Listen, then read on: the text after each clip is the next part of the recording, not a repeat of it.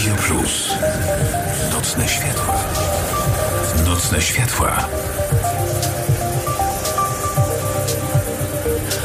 Trzy minuty temu minęła godzina 23. Paweł Krzemiński. Dobry wieczór. Witam Państwa. Zapraszam na kolejne wydanie Nocnych Świateł.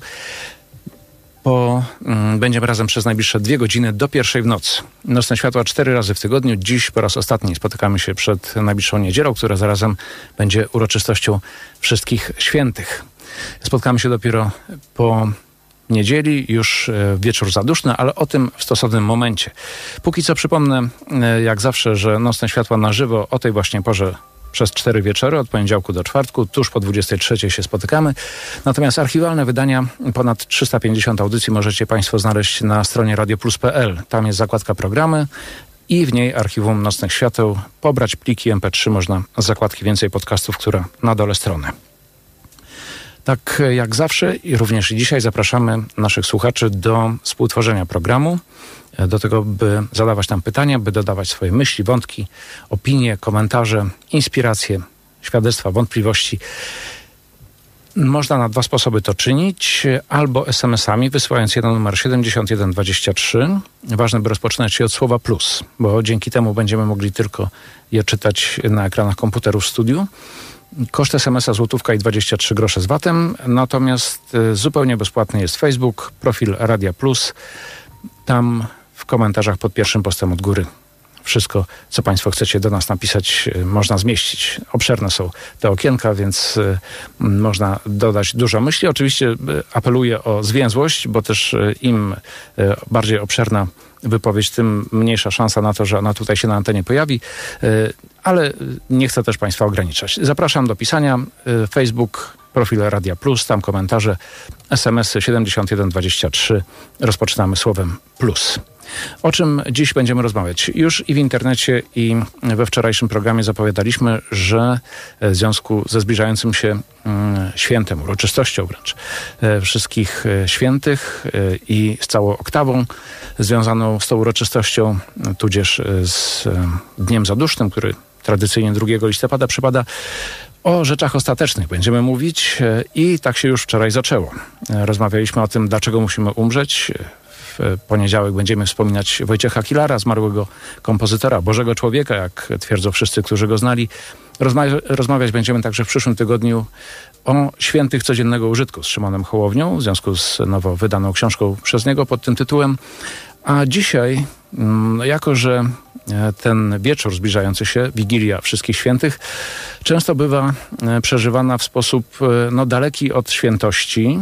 Chcemy przyglądać się nie tylko temu, jak wygląda ten świat, jak może wyglądać ten świat, do którego zdążamy, do którego chcemy dojść, ten świat, gdzie życie się nie kończy, ale chcemy zobaczyć, jak ten świat przenika do naszego. I jak on może faktycznie w naszym życiu się objawiać i jakie może mieć na niego wpływ i jakie znaczenie. I to dobry i również zły. Dzisiaj rozmawiać będziemy o duszach zmarłych, o tym, czy są obecne wśród nas. A gośćmi programu są księża salezjanie, duszpasterze akademicy z Uniwersytetu Kardynała Stefana Wyszyńskiego, ksiądz Dominik Mielewski, witam, szczęść Boże, dobry witam wieczór. Szczęść Boże. I ksiądz Michał Mejer, szczęść Boże, dobry wieczór. Szczęść Boże, witam. Oraz y, dwie miłe panie z duszpasterstwa akademickiego, UKSW, Aleksandra, dobry wieczór. Dobry wieczór. I Magda, dobry, Dobry wieczór. wieczór. E, Co to jest dusza? Od tego zacznijmy. Bo e, jest e, w dokumentach Kościoła powiedziane i Jan Paweł II też mówił to publicznie podczas katechez, że dusza jest formą ciała.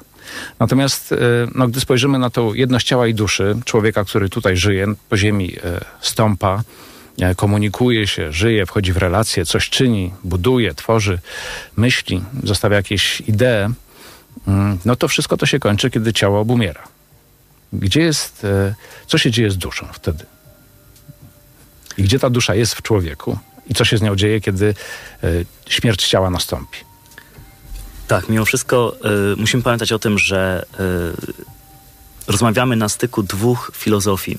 Filozofii greckiej, która została w jakiś sposób ochrzczona przez świętego Tomasza z Akwinu y, i odnowionej hermeneutyki biblijnej, która mówi o tym wyraźnie, że człowiek jest jednością duszy i ciała.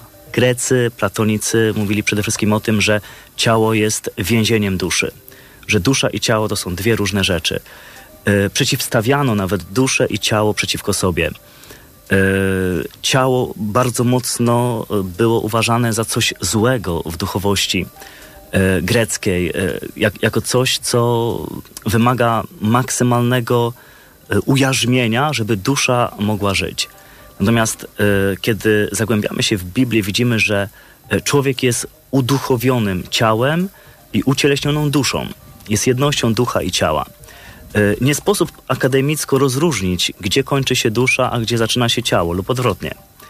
E, natomiast to, co jest niesłychanie ważne, to to, że e, Bóg stwarzając nas, zamierzył od początku to, aby człowiek, jako dusza i ciało zjednoczone z sobą, przebywało w niebie, w niewidzialnej sferze na całą wieczność, w wiecznym szczęściu i jak mówią nam e, mistycy i teologowie, żeby to się mogło stać, druga osoba Trójcy Świętej stała się Bogiem, była Bogiem, stała się człowiekiem, aby przebóstwić człowieka, by mógł wejść w to wewnętrzne życie Boga. E, tak jak trudno wyróżnić też w kontekście takim, gdzie w Jezusie kończy się Bóg, gdzie zaczyna się człowiek, tak też myślę, że trudno w człowieku wyznaczyć granicę, gdzie kończy się dusza, a zaczyna się ciało w tym kontekście zbawczym, eschatologicznym. Hmm. Myślę, że ksiądz e, Dominik powiedział tutaj ciekawą sprawę, e, jakby zaznaczając, że to święty Tomasz e, też odnalazł znowu te, tą filozofię grecką, ale ostatnio czytałem taką ciekawą książkę biskupa Rysia, który zwraca uwagę, że już Jezus jest bardziej Żydem, a święty Paweł, można powiedzieć, że jest wychowany w kulturze greckiej i że już od samego początku, od samego Pawła zaczyna się ten taki podział na ciało i na duszę, gdzie ciało jest złe, trzeba je ujarzmić, dusza jest dobra, święta, czysta. Y, I, I, to cały czas w chrześcijaństwie gdzieś y, się za nami ciągnie, prawda, że to ciało jest złe, ono jest podejrzane, ta materia jest jakaś skażona. Y, Paweł mówił troszkę w innym kontekście, ale przeciwstawiał też, mówi, że ciało do czego innego dąży niż duch, prawda, nie ma między nimi zgody, jest jakaś walka. I on myśli troszkę co innego, mówiąc ciało, niż my dzisiaj myślimy, ale jednak nam to zostało. I być może dopiero Jan Paweł II, tak na, na dobre i ostatecznie, e, wydobył to, że jednak ciało jest dobre. E, I, i, I to się cały czas przebija do naszej mentalności, ale ciągle z oporami. Ciągle myślimy, że. Jan Paweł II też mówił, że dusza jest formą ciała. Mhm. I to jest trudne do zrozumienia. Przypominam sobie no, taką rzecz, która z Kościołem ma niewiele wspólnego, ale też inspiruje do tego, by postawić sobie pytania. Nie wiem, czy, czy goście studia albo słuchacze e, oglądali taki film e, Alejandro González Inarritu 21 gramów.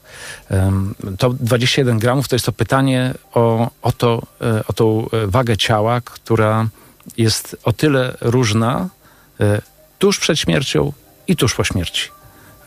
I te 21 gramów to waży dusza? Pytanie. Hm. Czy dusza może ważyć?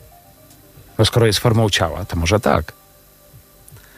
No, to jest bardzo ciekawy problem. E, rzeczywiście fragmenty tego filmu oglądałem i e, wydaje się, że w taki akademicki sposób można podejść e, do sprawy za pomocą przyrządów pewnych, zaobserwować to, że, że człowiek w momencie śmierci traci 21 gramów Wydaje mi się to jednak, pomimo wszystko, e, lekkim odejściem od tego, co jest istotą.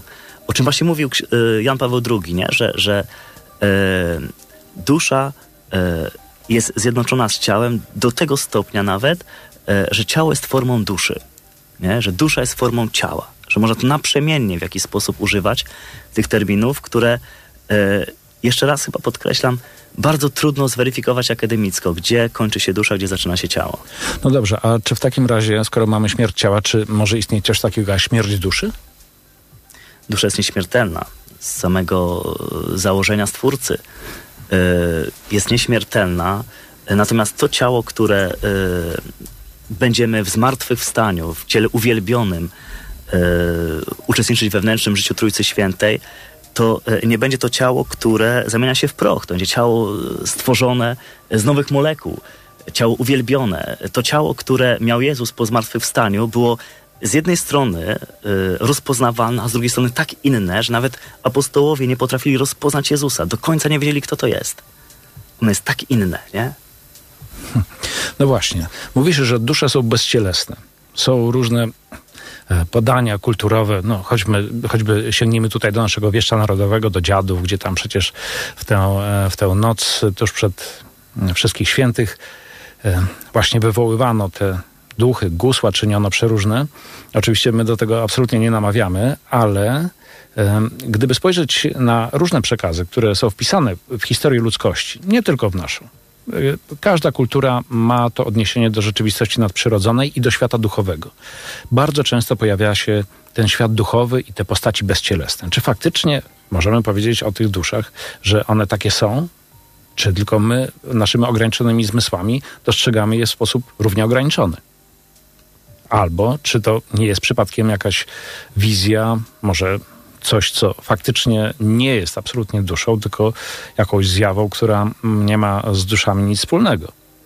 Może to jest tylko fantazja literacka, może to jest tylko jakaś chęć człowieka, mm, by ten świat duchowy tutaj zaimplantować, sprowadzić niejako do, do tej ziemskiej rzeczywistości, żeby z nim wejść w bliższą więź, a tak naprawdę to nie ma e, w ogóle nic wspólnego z rzeczywistością.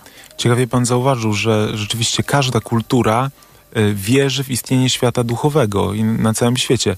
E, I mm, powiedziałbym, że ten materializm, który mamy dzisiaj w Europie, e, to jest coś zupełnie nowego. Taka, taki uparty materializm i negowanie tego, że istnieje rzeczywistość duchowa, bo, bo we wszystkich kulturach, o ile mi wiadomo, to było dla ludzi oczywiste, że istnieje świat duchów cały. Jak go poznawać, jak go nazywać, jaką on przyjmuje formę, to jest inna sprawa. Natomiast dopiero ten nowoczesny człowiek od powiedzmy 200 lat w Europie e, zaczął wierzyć e, uparcie, że istnieje tylko materia. Ale ta wiara, wydaje mi się, że na początku XXI wieku też się mocno burzy i człowiek jest coraz bardziej nastawiony na duchowość, chociaż w jakiś chaotyczny sposób e, poszukuje po omacku właśnie takiej, takiej rzeczywistości duchowej, ale przeczuwa, że ona jest, że na pewno nie ogranicza się cała rzeczywistość tylko do materii. To jest zbyt y, naiwny pogląd i on wymaga naprawdę wielkiej wiary w to, że jesteśmy tylko i wyłącznie ciałem, tylko i wyłącznie materią. E, natomiast w jaki sposób zmysłowo może nam się ukazywać to, co jest niewidzialne, co ze swojej definicji jest, jest duchowe, e, to, to jest y, trudne pytanie. Rzeczywiście nie, nie umiem e, tak, tak ad hoc odpowiedzieć jasno, w jaki sposób to zinterpretować, prawda, że się komuś ukazuje E, jakaś zjawa, prawda? Skoro to jest e, przejaw e, rzeczywistości duchowej. No tak, ale ktoś może powiedzieć, ma halucynację po prostu człowiek, rety, no albo może jest niezdrów, albo zjadł coś nieświeżego, no, albo używa jakichś substancji zatruwających ośrodkowy system nerwowy. No ale jednak te doświadczenia są powszechne, prawda? Yy, wszyscy, nie wiem, szamani, które przychodzą mi do głowy, książki podróżnicze, które się czyta e, o szamanach, którzy działają w każdym, w każdym plemieniu, oni jednak przeżywają coś na tyle realnego, e, że e, wywierają wpływ i, i na ludzi w swoim plemieniu i sami są przekonani absolutnie o prawdziwości tych doświadczeń, prawda? Coś się w materii dzieje pod wpływem duchów. No tak, biorąc pod uwagę też, że życie tych szamanów wygląda zupełnie inaczej niż reszta społeczności, w której oni są. No właśnie, trudno powiedzieć, czy oni są w tej społeczności, bo oni funkcjonują na jej obrzeżu. Najczęściej szamani żyją poza wioską. I to też o czymś mówi. I to są ludzie często bardzo cierpiący, i um, można sobie zadać pytanie, dlaczego cierpiący? Tak, myślę, że y, może jeszcze y, tak ze swojej refleksji y, do tego pytania poprzedniego. Wydaje mi się, że y, jako chrześcijanie musimy cały czas jakby badać te rzeczywistości niewidzialne z punktu widzenia Słowa Bożego. Jesteśmy stworzeni na obraz i podobieństwo Boga, który jest duchem. W wypadku drugiej osoby Trójcy Świętej duchem i ciałem. W związku z tym mamy w sobie E, możliwości do tego, aby odbierać świat duchowy, ponieważ jesteśmy również duchem. W związku z tym e, człowiek jest stworzony do tego, aby odbierać świat niewidzialny. I teraz e, wracając do tego, co było powiedziane przed chwileczką, że jeśli mamy zdolność odbierania świata duchowego, ponieważ również jesteśmy duchem w swoim ciele, to zadajemy sobie pytanie o to, jaki ten świat duchowy jest. Czy on jest tylko i wyłącznie pozytywny, miły i sympatyczny? czy ten świat duchowy jest również ciemny, straszny, groźny, yy, zadający ból i cierpienie. Jak w przypadku chociażby tych szamanów. No tak, tylko pytanie dlaczego? Dlaczego tak jest, że jest to rozgraniczenie, które wydaje nam się po pierwsze, może nie, inaczej zacznę. E, mamy tą rzeczywistość, do której e, chcemy podążać. Wiemy jako chrześcijanie, że zdążamy do Boga, do tego życia wiecznego, które jest już, jak mówi Pismo Święte, e, gdzie nie będzie już żadnej łzy. Natomiast z drugiej strony często się pojawiają postaci, albo przynajmniej są świadectwa, e, że mm, te spotkania z rzeczywistością e, nadprzyrodzoną albo tą inną, może to będzie najlepsze słowo, no inną, bo ono jest niezdefiniowane przecież, mm, przynosi właśnie e, ze sobą mm, rzeczy, które możemy powiedzieć, że mają negatywny wpływ na życie. Więc dlaczego tak się dzieje? Czy to jest jakaś forma doświadczenia, które ma coś nam powiedzieć o tym, że życie niesie ze sobą cierpienia w drodze do tej wieczności szczęśliwej, czy stykamy się nie z tą rzeczywistością, którą e, byśmy chcieli, do której wydaje nam się, że zdążamy, albo e, do której zdążamy, ale kontaktujemy się niestety z niewłaściwą częścią świata nadprzyrodzonego. Hmm. Tak, Biblia, Słowo Boże mówi nam wyraźnie o tym, że w wyniku E, próby, której zostali poddane duchy czyste, aniołowie, e, w czasie, w którym jeszcze nie zaistniała Ziemia. Mówimy tutaj e, obrazowo o czasie przed czasem, o pewnej rzeczywistości niewidzialnej, kiedy Bóg stwarza niebiosa, bo warto też zaznaczyć, że pierwszy wers Biblii, Księgi Rodzaju, jeśli chcielibyśmy go przetłumaczyć dosłownie, on ma bardzo ciekawe zależności, jeśli chodzi o liczby gramatyczne. Otóż ten pierwszy, ten pierwszy wers dokładnie przetłumaczony brzmi tak. Na początku bogowie, Elohim, stworzyli niebiosa, liczba mnoga i ziemię, liczba pojedyncza.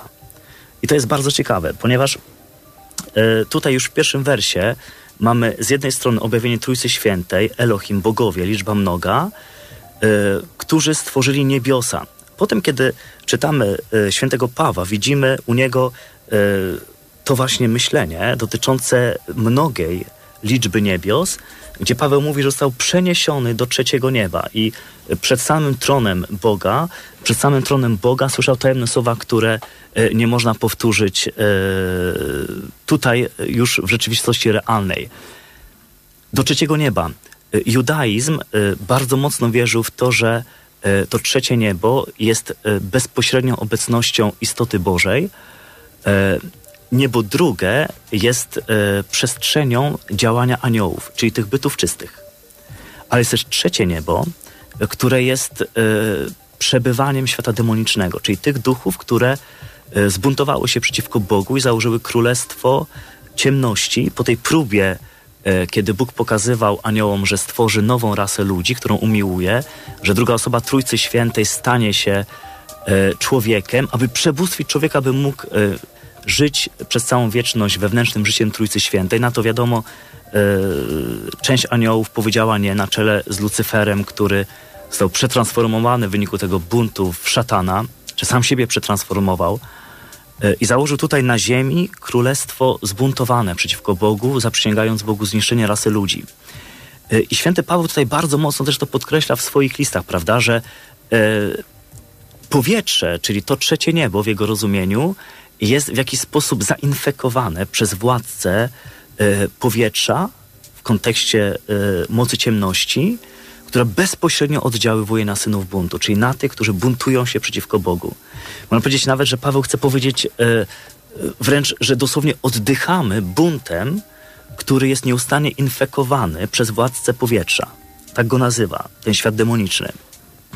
I teraz nie mając naturalnej E, czy nadprzyrodzonej również ochrony, jako chrześcijanie, e, możemy świadomie lub nieświadomie e, wejść w bezpośrednią konfrontację z mocami ciemności, które niestety potem mają bardzo negatywny wpływ na nasze życie.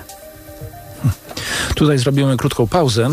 Dzisiaj w Nocnych Światłach Rozmawiamy o duszach zmarłych, czy są obecne wśród nas. Inspirujemy się książką Agostino Tomaselli, Bezcieleśni, w której mm, sporo wątków y, zainspirowało właśnie do tego, aby ten program tuż przed y, uroczystością Wszystkich Świętych właśnie miał taki kształt. Polecamy do lektury. Książka mm, myślę, że i rozwijająca też świadomość na temat świata duchowego, który jest bardzo blisko, ale też ostrzegająca przed y, niewłaściwym wchodzeniem w kontakt y, z rzeczywistością, która może być dla nas bardzo niekorzystna, a nawet wręcz szkodliwa. Goście w studiu księża Dominik Chmielewski i Michał Mejer, salezjanie, duszpasterze akademicy UKSW oraz Aleksandra i Magda ze wspólnoty duszpasterstwa akademickiego, również UKSW. Państwa zapraszamy do pisania. 7123 to numer, na który prosimy słać SMS-y z pytaniami Ważne, by rozpoczynać słowem plus. Na Facebooku komentarze na profilu Radia Plus, a my wracamy za chwilkę. Radio Plus. Nocne światła. Nocne światła. W Nocnych Światłach dzisiaj o duszach zmarłych rozmawiamy z inspiracji książką Bezcieleśnie Agostino Tomasellego. Czy dusze zmarłych są obecne wśród nas? Goście programu księża Dominik Mielewski i Michał Mejer, salezjanie e, duszpasterze akademicy UKSW oraz Aleksandra i Magda z tejże właśnie wspólnoty duszpasterstwa akademickiego. E, no tak e, teologicznie z wysokiego C zaczęliśmy, no ale nie sposób inaczej, bo jeżeli mówimy o dogmatach, no to trzeba sięgnąć do nauczania Kościoła, a to wymaga no, czasami nieco trudniejszego języka niż potoczny i um, pewnej wiedzy, która jest ujęta w konkretne formy. Ale teraz już tak przechodząc e, do mm, takiego bardziej powszedniego patrzenia na, na rzeczywistość. E, czy dusze zmarłych są obecne wśród nas? Chciałbym powiedzieć o takim y, doświadczeniu, jak byłem dzieckiem. To moja babcia na Kaszubach, bardzo wierząca kobieta, i którą rzeczywiście uważam za taką prywatnie za świętą kobietę. Y, ona zawsze nam mówiła, jako dzieci baliśmy się duchów prawda? To, to jest tak, powszechny ja strach, ciemności i wszystkiego, co z tym związane. Z piwnicy uciekałem szybciej niż tam chodziłem. I ona mówiła zawsze, za każdym razem, to pamiętam, że nie można się bać duchów, nie można bać się zmarłych, ponieważ jesteśmy w ręku Boga, modlimy się i w ogóle nie ma takiej obawy. I natomiast bardzo boi się ludzi. Y, ludzie mogą mi zrobić realną krzywdę. Natomiast jakby nam wpajała cały czas to, że żeby się nie bać duchów. Dla, z tego powodu, że Bóg kontroluje tą rzeczywistość całkowicie. E, jeżeli mamy z, nią, z Nim e, jakąś normalną relację, to jesteśmy w tej sferze zupełnie bezpieczni. I myślę, że to była taka bardzo prosta, e, ludowa i, i bardzo zdrowa teologia, nie? że Bóg kontroluje wszystko. Mówi, obawiam się ludzi, rzeczywiście, którzy mogą mnie napaść, mogą mnie pobić, mogą mi zrobić różne rzeczy. Natomiast duchy, na tyle na ile Bóg pozwoli, czego tu się obawiać. Nie? No tak, ale jak ksiądz Dominik mówił w poprzedniej części programu, no ta e, sfera e, świata duchowego, która jest nieprzychylna człowiekowi, istnieje. Owszem, jest w ręku Boga, ale Bóg też e, czasami dopuszcza. No, weźmy księgę Hioba, prawda? Mhm. Jest to pewnego zakład, e, pewnego rodzaju zakład e, ducha złego z Panem Bogiem, że mhm. dotknie. Pozwolił mu Bóg dotknąć Hioba. Tak jest, oczywiście. Z tym, że właśnie to, to o czym powiedziałem, dotyczyło dusz zmarłych. I, I, takiego pojęcia, jakim mieliśmy jako dzieci, że duchy zmarłych mogą nas, mogą nas nawiedzić. Natomiast zupełnie chyba nie przychodziło nikomu do głowy, że mógłby kogoś zaatakować zły duch. Ale właśnie, czy te dusze zmarłych są, no zupełnie tak, przepraszam, to będzie największy skrót myślowy, jakiego użyję, dobre albo złe? Hm. No właśnie. No przychodzą dusze, dajmy na to. Tak. Okej, okay, spoko, wierzymy w to, nie? Tak, no i, i pytanie, czy ta dusza jest dobra, czy zła? Tak, tak. W ciągu dwóch tysięcy lat e, Bóg wybiera szczególne osoby zwane mistykami, stygmatykami, świętymi e, do jakiejś e, również szczególnej relacji ze światem duchowym, ze światem dusz czystcowych, ze światem zmarłych. I tutaj bardzo ważne jest to, aby rozgraniczyć to, że są dwie formy jak inicjowania relacji ze zmarłymi. Y, pierwsza z nich jest y, od strony człowieka, czyli że człowiek sam chce się w jakiś sposób skontaktować y, ze zmarłym za pomocą różnego rodzaju rytuałów, zwanych chociażby sansami spirytystycznymi. I tutaj bardzo ważne jest to podkreślenie, że człowiek sam z siebie podejmuje decyzję, że chce się skontaktować ze światem zmarłych. I tutaj doświadczenie i świętych, i egzorcystów, i nauczanie Kościoła jest bezwzględne. Że w takim wypadku nie pojawiają się żadni zmarli na takich seansach spirytystycznych, tylko złe duchy, demony, które y, podają się za dusze zmarłych i w efekcie takich seansów spirytystycznych y, wyrządzają nieprawdopodobne szkody duchowe i psychiczne, y, jak również somatyczne w człowieku, który tego typu praktyk się podejmuje. No właśnie, to ksiądz uprzedził nieco moje pytanie, bo tak właśnie o to, w tą stronę chciałem pożeglować, bo tutaj to jest ten, ten sposób komunikacji jeden, który człowiek niejako inicjuje. Dobrze. I on może faktycznie mieć, mieć złe skutki, ale ten drugi. Ten drugi sposób, jest inicjowany kiedy... przez Boga. Mhm. Człowiek w żaden sposób nie ingeruje sam z siebie w ten świat duchowy. Jest to efekt pozwolenia przez Boga, inicjowania przez Boga kontaktu zmarłych i to właśnie z reguły z osobami, które mm, mogą początkowo się ich bać, ale potem widzą, że te dusze przychodzą przede wszystkim po to, aby prosić o modlitwę, prosić o wstawiennictwo. Y, wiele tych dusz, które przychodzą właśnie prosto z czyśćca, prosto od Boga, aby prosić o modlitwę, to jest bardzo ciekawe. W wielu to świadectwach mistyków zauważa się, nie są agresywne. Nie są duszami, które konfrontują, czy wręcz bardzo mm, mocno wchodzą w świat mistyka, czy w świat świętego, bardziej pojawiają się na zasadzie pewnego zobaczenia siebie i nie narzucania się. Prośba o modlitwę, wyraz twarzy, jakiś komunikat, ale na zasadzie takiej, może powiedzieć nawet bardzo pokornej nie? To nie jest ingerencja, która zastrasza świętego. E, to nie jest ingerencja, która w jakiś sposób powoduje e, atak duchowy, e, potworny lęk, strach, paraliż. Nie. Jest wręcz coś odwrotnego. Po pewnym zderzeniu świata niewidzialnego z widzialnym jest bardzo ciekawa przestrzeń właśnie braku aktywności, która jest jakby niemą prośbą zmarłego o modlitwę, o pomoc duchową. Przypominam sobie z dzienniczka świętej Faustyny e, taką sytuację, gdy pewna zakonnica zmarła, cała w płomieniach przychodziła do świętej Faustyny, prosiła ją o modlitwę.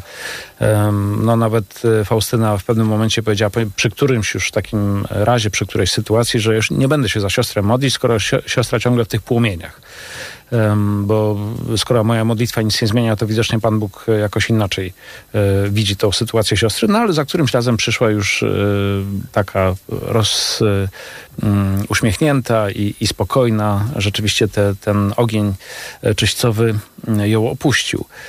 Więc to rzeczywiście to jakoś potwierdza to, co ksiądz mówi, ale z drugiej strony Mm, mm, wiele osób, które no, przez y, albo własną głupotę, albo czasami złą wolę, czy może nawet przypadkowo weszły niestety w, y, mm, w ezoterykę, w okultyzm, y, w jakieś związane właśnie sytuacje z, z, wywołanym, z wywołaniem duchów, ze spirytyzmem. I mówią też, opowiadały, że kontakty z tym światem były początkowo bardzo no powiedziałbym przyjazne nawet. Były takie zaciekawiające, nie budziły specjalnego lęku. No oczywiście, no taka e, sytuacja pewnego uniesienia emocjonalnego, e, większego niż, e, niż standardowo to się przeżywa, nawet w jakichś takich sytuacjach, e, powiedzmy, bardziej emocjonalnych, no bo coś nieznanego, ale że to było ciekawe i, i inspirujące jakoś, e, zachęcające do, do kolejnych spotkań to nie budziło lęku. Dopiero później się zaczynały dziać rzeczy dziwne, niedobre, niekorzystne e, i było coraz trudniej. E, bardzo e, ważne to jest. Proszę to zauważyć, że kiedy mm, nawet Archanioł Gabriel przychodzi do Matki Bożej, to ona na początku jest zalękniona. Potem przychodzi wielki pokój serca i doświadczenie Bożej obecności, że to jest od Boga. W świecie okultyzmu jest odwrotnie Kiedy pojawia się demon, Słowo Boże e, charakteryzuje go jako anioła światłości, czyli on się pojawia na początku jako ktoś dobry, jako ktoś, kto daje ci możliwość e, wprowadzenia w tajemnicę zaświatów. E, Człowiek niezwykle zaciekawiony tym doświadczeniem e, wchodzi e, czasami wręcz magnetycznie, zupełnie nie zdają sobie sprawy, e, kto tak naprawdę kryje się e, za tą istotą, którą widzi, którą odczuwa. E, Okultyzm, ezoteryzm, często religie pogańskie e, nazywają e, tego typu istoty duchami przewodnikami. Prawda? Że one mają być przewodnikami w świecie niewidzialnym, w tych zaświatach. Człowiek wchodzi w to, im bardziej wchodzi, tym bardziej czuje się dosłownie wciągany, wręcz magnetycznie w tą relację.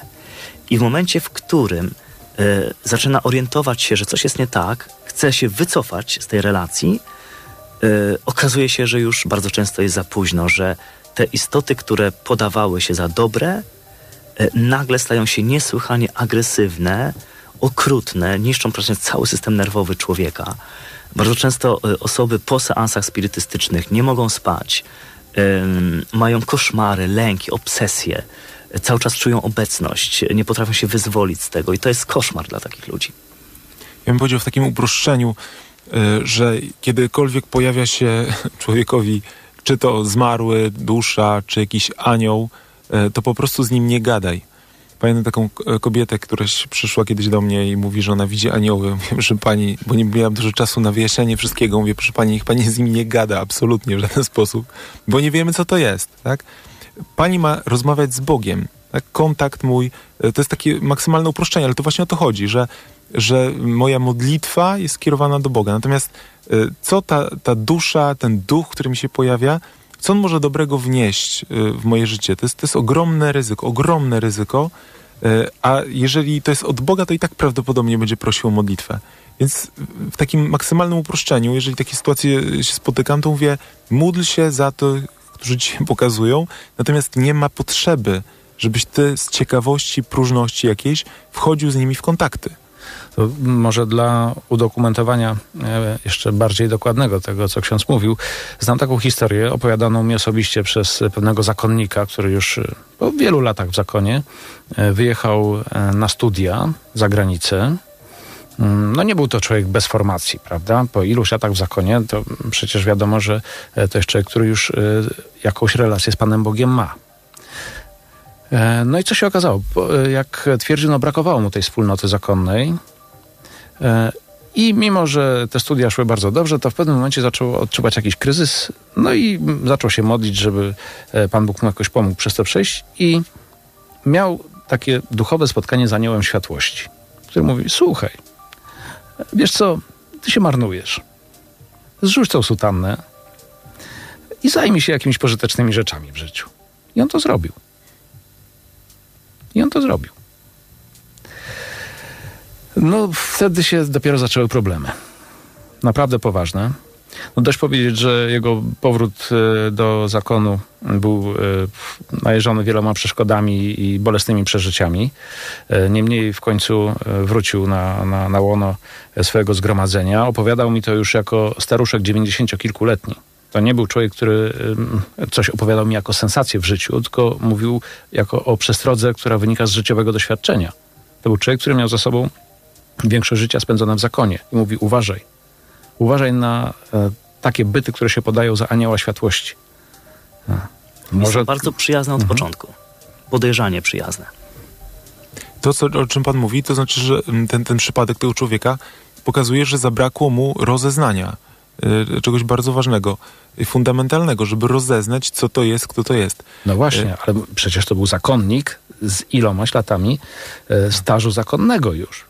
Przecież. No, to nie- Każdemu zdarzają się błędy. No właśnie, więc e, e, co tutaj mówić dopiero o ludziach, którzy nie mają jakiejś formacji, czy, mm, czy nawet niespecjalnie no, z Panem Bogiem, no owszem, no jestem wierzący, okej, dobra, w porządku, nie? Tak, dlatego właśnie o to chodzi, że bezpieczniej jest, naprawdę bezpieczniej jest przyjąć zasadę, że, że nie gadaj z tym, cokolwiek to jest, prawda? Twoja modlitwa, twój kontakt ze światem duchowym idzie przez, przez Boga, a nie przez zagłębianie się właśnie w takie e, podejrzane kontakty. Chyba, że ktoś jest rzeczywiście e, jakimś szczególnym mistykiem wybranym przez Boga, to i tak prawdopodobnie jest skierowany przez swojego spowiednika i, i, jest y, bezpieczny, bo nie jest zostawiony w tym sam. Tak, tu jeszcze bym, jeśli można dodać, niesłychanie ważna jest cnota posłuszeństwa Kościołowi. Praktycznie y, jest to y, pierwsze i chyba najważniejsze kryterium rozeznania, czy to, co do mnie przychodzi, to coś y, jest od Boga, czy nie jest od Boga. W momencie, w którym pierwszą rzeczą, którą powinienem zrobić, to od razu konfrontować to z kapłanem, spowiednikiem, kierownikiem duchowym. I przez bezwzględne posłuszeństwo kierownikowi duchowemu, kapłanowi, stałemu spowiednikowi, e, odnosić relację do tego czegoś, co do mnie przychodzi. Jeśli y, okazuje się, że y, to coś, co do mnie przychodzi, y, jest w konflikcie z tym, co mówi mi kierownik duchowy, stały spowiednik, kapłan, lub w jaki sposób ja bardziej chcę słuchać tego ducha przewodnika, który mi się zjawia, niż kapłana, to sprawa jest już bardzo groźna i podejrzana. Mistycy, którzy mieli kontakt z duszami czyścowymi, zawsze byli bezwzględnie posłuszni kapłanom, którzy ich prowadzili. I na tym posłuszeństwie bazowali przez cały swój kontakt. Warto tutaj y, posłuchać chociażby y, też y, Fuli Chorak, jednej z mniej znanych polskich mistyczek, która w tym aspekcie, o którym mówimy, właśnie kontaktu z duszami czyścowymi, y, pisze dokładnie tak w swojej książce. Duszom z niektórych kręgów czyścowych wolno czasem z dopustu Bożego śnić się lub zjawiać się ludziom. Jest to jedyna forma, w której prosić mogą o pomoc. Ludzie zazwyczaj jednak sny lekceważą, owych nieszczęsnych zjaw tak się lękają, że rzadko kiedy przyjdzie komuś na myśl pomodlić się za nią, dać nam mszę świętą lub ofiarować na jej intencje cierpienie lub dobry uczynek. Nie myślą, że znak z tamtego świata przyjść może tylko za wolą i zezwoleniem Bożym i że dlatego nie wolno go lekceważyć. Modlitwa za zmarłych leży niejako w obopólnym interesie tych, za których się modlą i tych, którzy się modlą. Dusze pokutujące są tak bardzo nieszczęśliwe, że jeżeli im ktoś do wydobycia się pomoże, umieją być potem wdzięczne i nigdy już przysługi tej nie zapomną człowiekowi. Pierwszą ich też czynnością w kręgu poznania, o której mówi Fula Chorak, e, charakteryzując czyściec, będzie przekazanie duchom w pierwszym kręgu jasności prośby o opiekę nad swym dobroczyńcą. E, Czyli generalnie z jednej strony być ostrożnym, a z drugiej strony nie lekceważyć tego, że nam się przyśni na przykład ktoś zmarły z naszej rodziny, ktoś, e, kogo znaliśmy, e, w formie e, nieatakującej, prawda? Cały czas to jest bardzo ważne, nie? Nie narzucającej, nie zniewalającej, uzależniającej. Rzeczywiście nie wchodzić w kontakt dialogowy, bez jakiegokolwiek rozeznania z kapłanem czy kierownikiem duchowym, ale zawsze, i to jest bardzo bezpieczne, pomodlić się za tą osobę, dać nam mszę świętą, ofiarować jakąś cierpienie za nie. E, I to jest, uważam, obowiązek też e, każdego chrześcijanina, który z tego typu ingerencją się spotyka. W duchu tego, co ksiądz mówił, Krzysztof napisał na Facebooku, są, pomagają nam w zamian, oczekują modlitwy.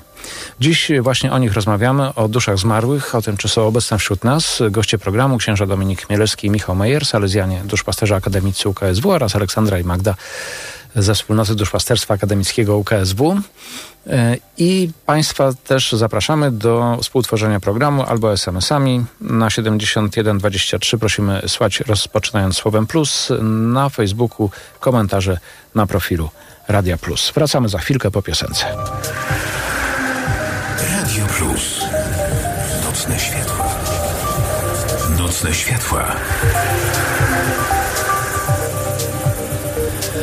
W Nocnych Światłach rozmawiamy dzisiaj przed uroczystością Wszystkich Świętych o tym, czy dusze zmarłych są obecne wśród nas. Goście programu księża Dominik Chmielewski, Michał Mejer, salezjanie, duszpasterze akademicy z UKSW i Aleksandra i Magda ze wspólnoty duszpasterstwa akademickiego UKSW.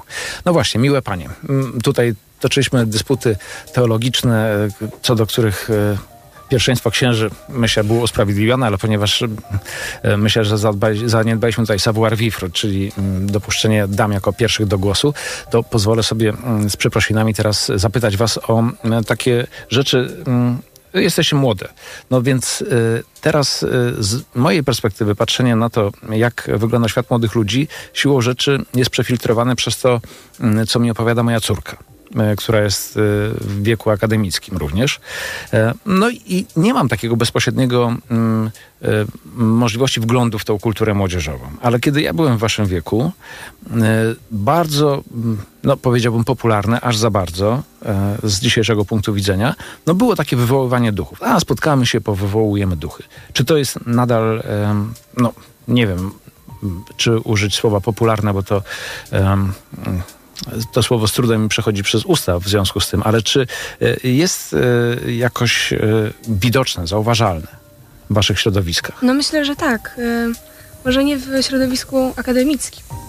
Nie w środowisku akademickim. Wydaje mi się, że najbardziej, no myślę, że to jest dobre słowo, popularne, bo chodzi tutaj o młodzież. Sama mam jakieś tam wspomnienia z podstawówki, z tych czasów, kiedy nie ma się jakichś takich granic. y, ym, Dlaczego nie? Najczęściej tak się mówi y, i myśli. I jest to zabawa. Jak najbardziej. y, Znaczy traktowane jako zabawa. tak, jako coś ra- atrakcyjnego. No, chyba myślę, że nie tylko młodzież, y, nie tylko młodzi ludzie, wszyscy jakby mm, widzimy, że jest to w, w pewien sposób atrakcyjne dla nas. Y, Zło myślę, że taką ma też metodę działania, że przedstawia nam się jako bardzo atrakcyjne, a właśnie później, tak jak było mówione, y, ukazuje nam się to prawdziwe, y, jakby ten prawdziwy obraz, y, czym to zło jest. I myślę, że jest to popularne mm, w formie zabawy, ale myślę, że równie niebezpieczne.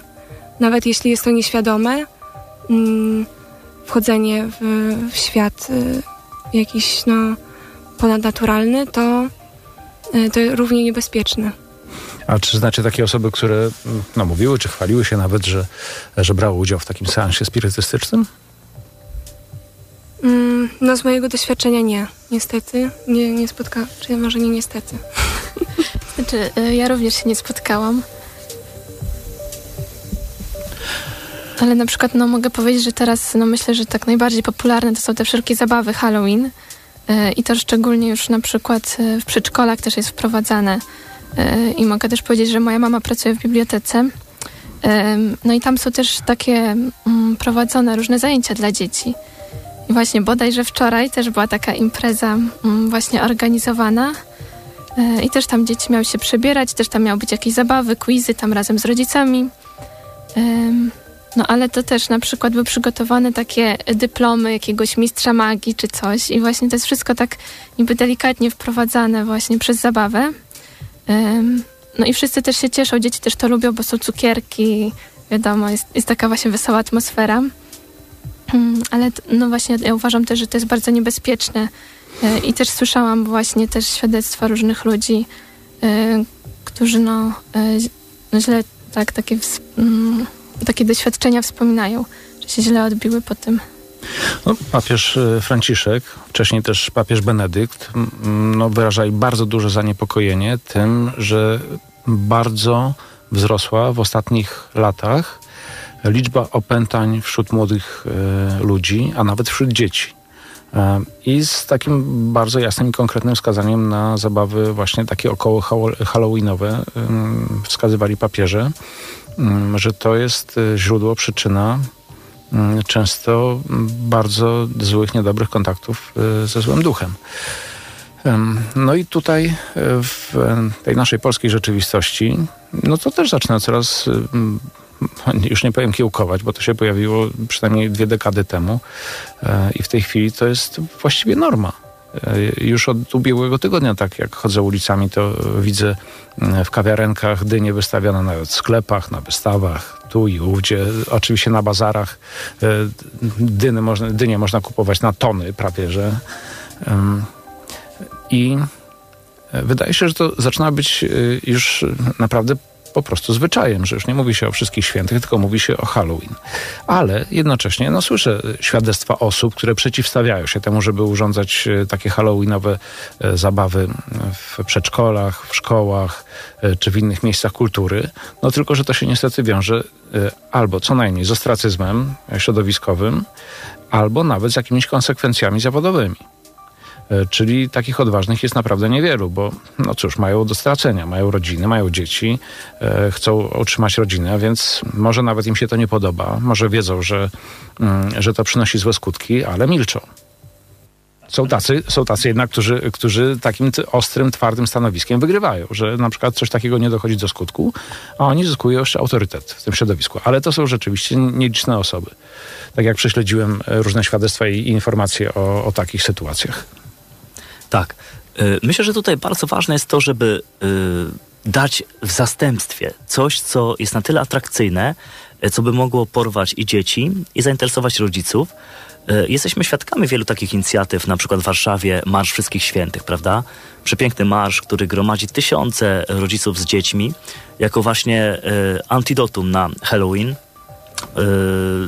Na coś, co jest y, też absolutnie mentalnościowo zupełnie y, inne. Typowy produkt amerykański, który jest według mnie przedsionkiem magii po prostu. Magii dla dzieci. Y, jako antidotum Marsz Wszystkich Świętych, gdzie również wchodzimy w tajemnicę obecności Wszystkich Świętych, obcowania świętych w sposób niezwykle radosny, pełen pokoju, optymizmu.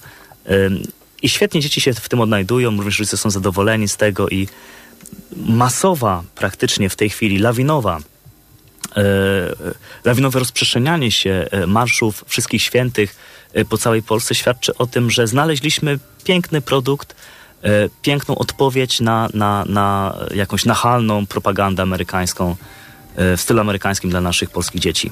No właśnie, proszę, co Mateusz napisał na Facebooku. Mam świeże informacje co do Halloweenu. Słyszałem, że u znajomej w szkole jutro zwolniony jest z pytań ten uczeń, który na lekcję przyjdzie przebrany. Troszkę książek w życiu przeczytałem, ale teraz mi zabrakło słów do komentowania. Mhm.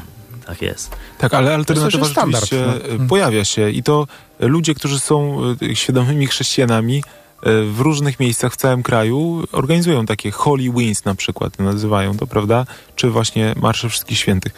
E, W zeszłym roku miałem taką wzruszającą sytuację, że rodzice właśnie w szkole podstawowej poprosili mnie, e, żebym e, był świętym Mikołajem. Gdzie świętym Mikołajem w listopadzie? O co wam chodzi w ogóle? Okazuje się, że to był bal wszystkich świętych, dzieci się przebierały za świętych. Ja oczywiście nie miałem za bardzo ochoty w tym za bardzo, e, na początku uczestniczyć, ale mama mnie przekonała mówiąc tak, że księdza, my potrzebujemy księdza rąk. Ksiądz ma nam na koniec pobłogosławić dzieci. E, I to było dla mnie cudowne, wyraz wiary tych rodziców. Zresztą widziałem, ile oni się napracowali przy tym, żeby zorganizować w tych dniach właśnie specjalnie dla dzieci w podstawówce bal wszystkich świętych i żeby była okazja, żeby prawdziwy ksiądz naprawdę pobłogosławił, pomodlił się nad tymi dziećmi. Byłem poruszony wiarą tych ludzi i takie rzeczy się cały czas dzieją właśnie gdzieś tam od, oddolnie e, wśród wielu chrześcijan w kraju. No i dobrze, bo też, e, to też pokazuje, że ta uroczystość Wszystkich Świętych zyskuje nareszcie e, po wielu latach komuny prawdziwy swój rzeczywisty wymiar. To jest radosne święto, uroczystość Wszystkich Świętych, imieniny nas wszystkich. Że tu się mamy cieszyć Tak po prostu z, jest. tych, z tej rzeszy zbawionych, nieprzebranej, która jest w niebie, że to nie jest święto zmarłych, jak było za komuny. Święto zmarłych. No, przepraszam, że użyję takiego słowa. Święto umarlaków. No, Tak, no, proszę mi wybaczyć e, akurat to słowo, ale myślę, że, że, że chciałem to przerysować po prostu, żeby, żeby pokazać, jak to, jak to było odbierane. Ja jako dziecko myślałem, no rety, co to za święto zmarłych? Po co my chodzimy na ten cmentarz? No. E, To było jak- jakieś posępne. No, no jasne, że musiało upłynąć sporo czasu, żeby, e, żeby też zrozumieć, na czym polega charakter tego święta, ale e, nawet w mediach, jak nazywano wtedy publikatorami, pu- publikatorach było, że święto zmarłych, prawda? Tak jest. E, Ale teraz tak, chciałbym zwrócić uwagę na, na Facebook. Tutaj Bogdan oczywiście pozdrawia, za co dziękujemy serdecznie i pozdrawiam Cię nawzajem Bogdanie i też wszystkich, e, wszystkich słuchaczy, którzy teraz są z nami. E, Zadaję takie pytanie. Mm, Już sekundkę, bo mi umknęło. E, Księże Dominiku, ale zły duch to też duch, czyli dusza, czy nie? Tutaj Krzysiek podpowiada, nie, bo to upadły anioł. No i faktycznie, tutaj można sobie zadać pytanie, czy mm, te demony, które gdzieś tam, jak mówią, różne świadectwa się pojawiają, albo te, o których księża mówiliście, e, to są e, dusze tak zwanych potępieńców, którzy gdzieś tam się błąkają, no przecież była też w teologii e, taka mm, rzeczywistość limbusa, prawda? Swego czasu, jeszcze w średniowieczu się mówiło o tym, że są te przestrzeń dla takich dusz, które no nie wiadomo gdzie są. Gdzieś tam błąkają się między naszym światem a, a, a niebem, które nie są w czyśćcu. Nie, wiadomo dokładnie, co to z nimi było. No później Kościół jakoś rozeznał, że, że to nie tędy droga, że, że to nie jest tak. Ale fakt, no gdzieś w świadomości ludzkiej jest y, takie takie mniemanie, że są te dusze zmarłych, które tutaj pokutują, jak to się mówi. Mhm, tak. Y, na pierwsze pytanie odpowiedziałbym w ten sposób. Y, rasa aniołów jest diametralnie inna niż stworzona rasa ludzi. Ludzie mają duszę, aniołowie nie mają duszy. To trzeba sobie uświadomić. Aniołowie nie mają duszy, są duchami czystymi. Święty Augustyn, wielki doktor Kościoła, mówi w ten sposób, że anioł oznacza funkcję, nie naturę. Pytasz, jak nazywa się ta natura? Duch. Pytasz o funkcję anioł. Jako stworzenia czysto duchowe, aniołowie posiadają rozum i wolę. Są stworzeniami osobowymi i nieśmiertelnymi. Ale nie mają duszy w takim rozumieniu, jak my mówimy o duszy ludzkiej. E, to jest bardzo ważne, żeby to, żeby to e, zobaczyć na początku. Natomiast yy, druga część tego pytania też jest bardzo ważna. Otóż dusze potępione nie pojawiają się w jakichkolwiek ingerencjach e, z światem materialnym, z nami, z ludźmi tutaj żyjącymi na ziemi, jeszcze w ciele. Zawsze są to demony, które podają się e, za poszczególne osoby, za poszczególnych ludzi, którzy zmarli. E, bardzo często ten element występuje w czasie egzorcyzmów, kiedy wydaje się, że zaczynają byty duchowe, które opętały danego człowieka, e, przedstawiają się z imienia e, poszczególnych osób, e, które wielu uważa za potępionych, jak na przykład Hitler, Stalin, Kain i tak dalej. Natomiast okazuje się, że to nie są te dusze potępione, które opętały człowieka, tylko to są złe duchy, które opętały Kaina, Abla, Kaina, przepraszam, e, Stalina, Hitlera czy jakiegokolwiek innego człowieka, który dramatycznie źle skończył to życie. E, I to one właśnie opętują danego człowieka, więc one podają się za dusze zmarłych, demony, ale to nie są dusze zmarłych. No tak, biorąc pod uwagę to, że szatan jest ojcem kłamstwa, no to wiadomo, że trudno liczyć na, na to, że prawdę powie. Tutaj klasycznym y, przykładem, y, takim bardzo jaskrawym, wyrazistym było to opętanie y, Michel prawda, gdzie tam było sześć demonów tak. podczas egzorcyzmu. Sześć demonów, właśnie, a nie dusz potępionych ludzi, tak? No, tak, podawało się za sta, tak. Stalina, Hitlera, Kaina, tak, upadłego księdza, Nerona, upadłego księdza, tak. tak, i już szóstego nie pamiętam. Tak. Złe duchy, musimy pamiętać o tym, e, Słowo Boże mówi, jak lew ryczący krążą wokół nas, patrząc e, w jaki sposób nas pożreć, nie? Można powiedzieć, że 24 H na dobę obserwują nas, więc mają nieprawdopodobną wiedzę o naszym życiu. Nie ma żadnego problemu dla złego ducha podawać y, szczegóły i fakty bardzo precyzyjne z życia danego człowieka, za którego się podają, tak żebyśmy my w czasie takiego seansu spirytystycznego uwierzyli, że to jest rzeczywiście ta osoba. Zrobimy krótką przerwę. Dzisiaj w Nocnych Światłach rozmawiamy o duszach zmarłych. Czy są obecne wśród nas? Półmetek Nocnych Świateł. Tak więc teraz krótka przerwa na muzykę. E, będziemy razem z Państwem jeszcze przez godzinę, ale już godzina upłynęła. Tak więc do pierwszej jeszcze około 60 minut. Będziemy rozmawiać e, o duszach zmarłych razem z gośćmi programu księża Dominik Chmielewski i Michał Mejer, salezjanie, duszpasterze akademicy UKSW i Aleksandra oraz Magda ze wspólnoty duszpasterstwa akademickiego UKSW. A inspirujemy się książką Agostino Tomasellego Bezcieleśni, której dwa egzemplarze e, będą dzisiaj także dla słuchaczy Radia Plus, dla słuchaczy Nocnych Świateł. W stosownym momencie powiemy, jak te książki można e, zdobyć jak można e, się stać ich właścicielami. Proszę nas słuchać uważnie i zapraszam też do pisania. 7123 to jest numer, na który zapraszamy do pisania pytań, wątków, myśli, opinii, komentarzy e, drogą SMS-ową, rozpoczynając od słowa plus, a na Facebooku profil Radia Plus. Tam zapraszamy do pisania komentarzy pod pierwszym postem od góry. Po piosence wracamy. Radio Plus. Nocne światła. Nocne światła. 6 minut po północy, mamy już piątek 30 października. Od 23 jesteśmy z Państwem i około godziny jeszcze nocne światła potrwają do pierwszej. Dziś rozmawiamy o tym w ostatniej audycji przed uroczystością Wszystkich Świętych o duszach zmarłych. Czy są obecne wśród nas, a inspirujemy się książką Agostino Tomasellego Bezcieleśni. Goście programu księża Michał Mejer i Dominik Chmielewscy, Salezja, Chmielewski, e, Salezjanie, duszpasterze akademicy UKSW i Aleksandra oraz Magda ze wspólnoty duszpasterstwa akademickiego również UKSW.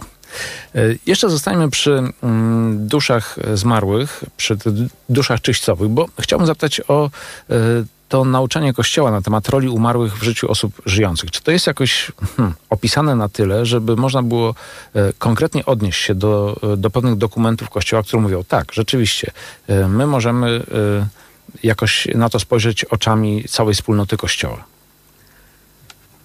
Tak, y, w credo mamy bardzo wyraźne y, wyznanie wiary w obcowanie świętych, czyli przenikanie świata świętych naszego świata y, fizycznego y, i cała historia Kościoła, cała historia duchowości pokazuje nieprawdopodobną ingerencję świętych, niezwykle intensywną świętych w nasze życie.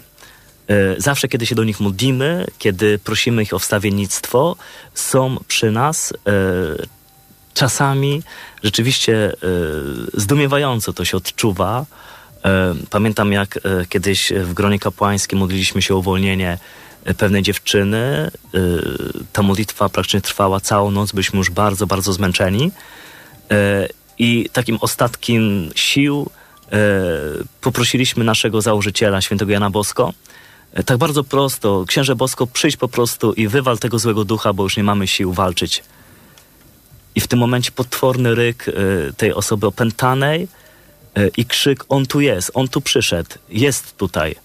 Drugi ryk, muszę wyjść i skończyło się y, opętanie tej dziewczyny. Ksiądz Bosko pojawił się momentalnie i praktycznie w ciągu kilkunastu sekund dokończył sprawę. I w takiej sytuacji rzeczywiście aż dreszcz przechodzi, y, widząc, że oni naprawdę są przy nas cały czas. Wystarczy ich wezwać i są przy nas. Tym, że tu chodzi o świętego, prawda? Tak. Natomiast jest też coś takiego, że dusze czyścowe mogą modlić się też za nas, mogą nas jakoś wspierać, prawda? Nie mogą modlić się same za siebie yy, i to jest yy, ta trudność, dlatego koniecznie potrzebują naszej modlitwy i, i święci zachęcali bardzo do tego, yy, właśnie żeby się modlić za tych, którzy pokutują w czyśćcu, oczyszczają się. Nie mogą się oni modlić sami za siebie, natomiast mogą wspierać w jakiś sposób nas. Oni też mówią, y, mówi nauczanie nasze, że są kościołem. Tak, to jest kościół, który to, to są nasi bracia i siostry, od których dzieli nas jakiś mur, ale jednak y, jesteśmy w, w jakiejś łączności ze sobą przez modlitwę. No właśnie, z tym czyśćcem, to jak to jest? To jest miejsce czy stan? Jest tam jakaś forma czasu? No bo mówi się o tym, Kościół mówi o tym, że no, tam w tej rzeczywistości za bramą naszej śmierci czasu już nie ma. Czas to jest tylko ta, e, ta forma, hmm, no nie wiem jak to inaczej powiedzieć, wymiaru na, naszej rzeczywistości, w której przebywamy tutaj za życia ziemskiego. E, Natomiast istnieje spór, czy w czyśćcu mm, istnieje jakiś czas bądź jego forma. Mhm. Y, Czyściec nie jest miejscem, ale wewnętrznym stanem duszy. To jest warte zauważenia. Wewnętrzny stan duszy. Duszy, która podejmuje dobrowolnie oczyszczenie z grzechów. Mamy przekazy wielu świętych i mistyków, którzy opisują swoje relacje z duszami czyścowymi i które to dusze czyścowe też opisują, y, jak wygląda czyściec. Y, Jedna z takich y, mistyczek, Natuzza Evolo, zmarła niedawno w opinii świętości. Jedna z największych mistyczek Kościoła. Mówi tak, że czyściec nie jest żadnym miejscem, lecz wewnętrznym stanem duszy, która odbywa pokutę i to jest ciekawe, w tych samych miejscach na ziemi, gdzie żyła i grzeszyła, a zatem również w domu, który zamieszkiwała. Czasami dusze tworzą swoje czyśćce w kościołach, kiedy minął dla nich okres najcięższych mąk. Y, To świadectwo Natuzzy y, bardzo często y, było potwierdzane w życiu chociażby ojca Pio, który wielokrotnie y, miał doświadczenie widzenia zmarłych zakonników w różnych miejscach w kościele, w różnych miejscach konwentu klasztornego. E, byli oni niezwykle wyraźni, to nie były jakieś tam zamazane, eteryczne ciała, bardzo wyraźne osoby, mm, które w milczeniu albo stały, albo siedziały, albo klęczały. E, ojciec Pio pytał, co wy tutaj robicie? Odbywamy czyściec. W miejscach, gdzie e, grzeszyliśmy. E, Pamiętam też taką e, historię, kiedy ksiądz, ojciec Pio przychodzi do zakrysty i widzi brata zakonnego, który jest w tej zakrystii w znieruchomiały sposób i modli się. I pyta, co ty tu robisz? Kim ty jesteś? I w pewnym momencie się orientuje ojciec Pio, że to nie jest człowiek z krwi kości, tylko zmarły zakonnik. E, I on wtedy odwraca się i mówi, że odbywa pokutę za niedbałe przygotowywanie naczyń liturgicznych do mszy świętej. W tym miejscu, w którym grzeszył, nie? To jest bardzo ciekawe. E, Sam w swojej praktyce kapłańskiej spotkałem się wielokrotnie z sytuacjami tak zwanych domów, w których straszy. I co ciekawe, że w tych domach, w których straszy, e, najczęściej nie pomagały egzorcyzmy miejsca, nie pomagały modlitwy o uwolnienie danego miejsca, przestrzeni, terytorium, e, zwracając się ducha. od złego ducha, bo ludzie najczęściej myślą właśnie w ten sposób, prawda, że jak e, straszy w domu, to jest zły duch. Natomiast e, prawie zawsze e, pomagała msza święta odprawiona w tym domu z intencją przebłagania za grzechy tych, którzy tutaj mieszkali w tym domu. I ta msza święta, jedna, druga lub trzecia, e, kończyły ingerencję tak zwanego straszenia w domu. Czyli problem nie polegał na e, manifestacji złych duchów w tym miejscu, w tej przestrzeni tego domu, tylko właśnie być może tak jak mówi na Tutca czy ojciec Pio, dusze zmarłych, które grzeszyły w tym domu ciężko, odbywały tam swój czyściec i Eucharystia odprawiona w tym miejscu z przebłaganiem za grzechy zakończyła ich męki czyścowe.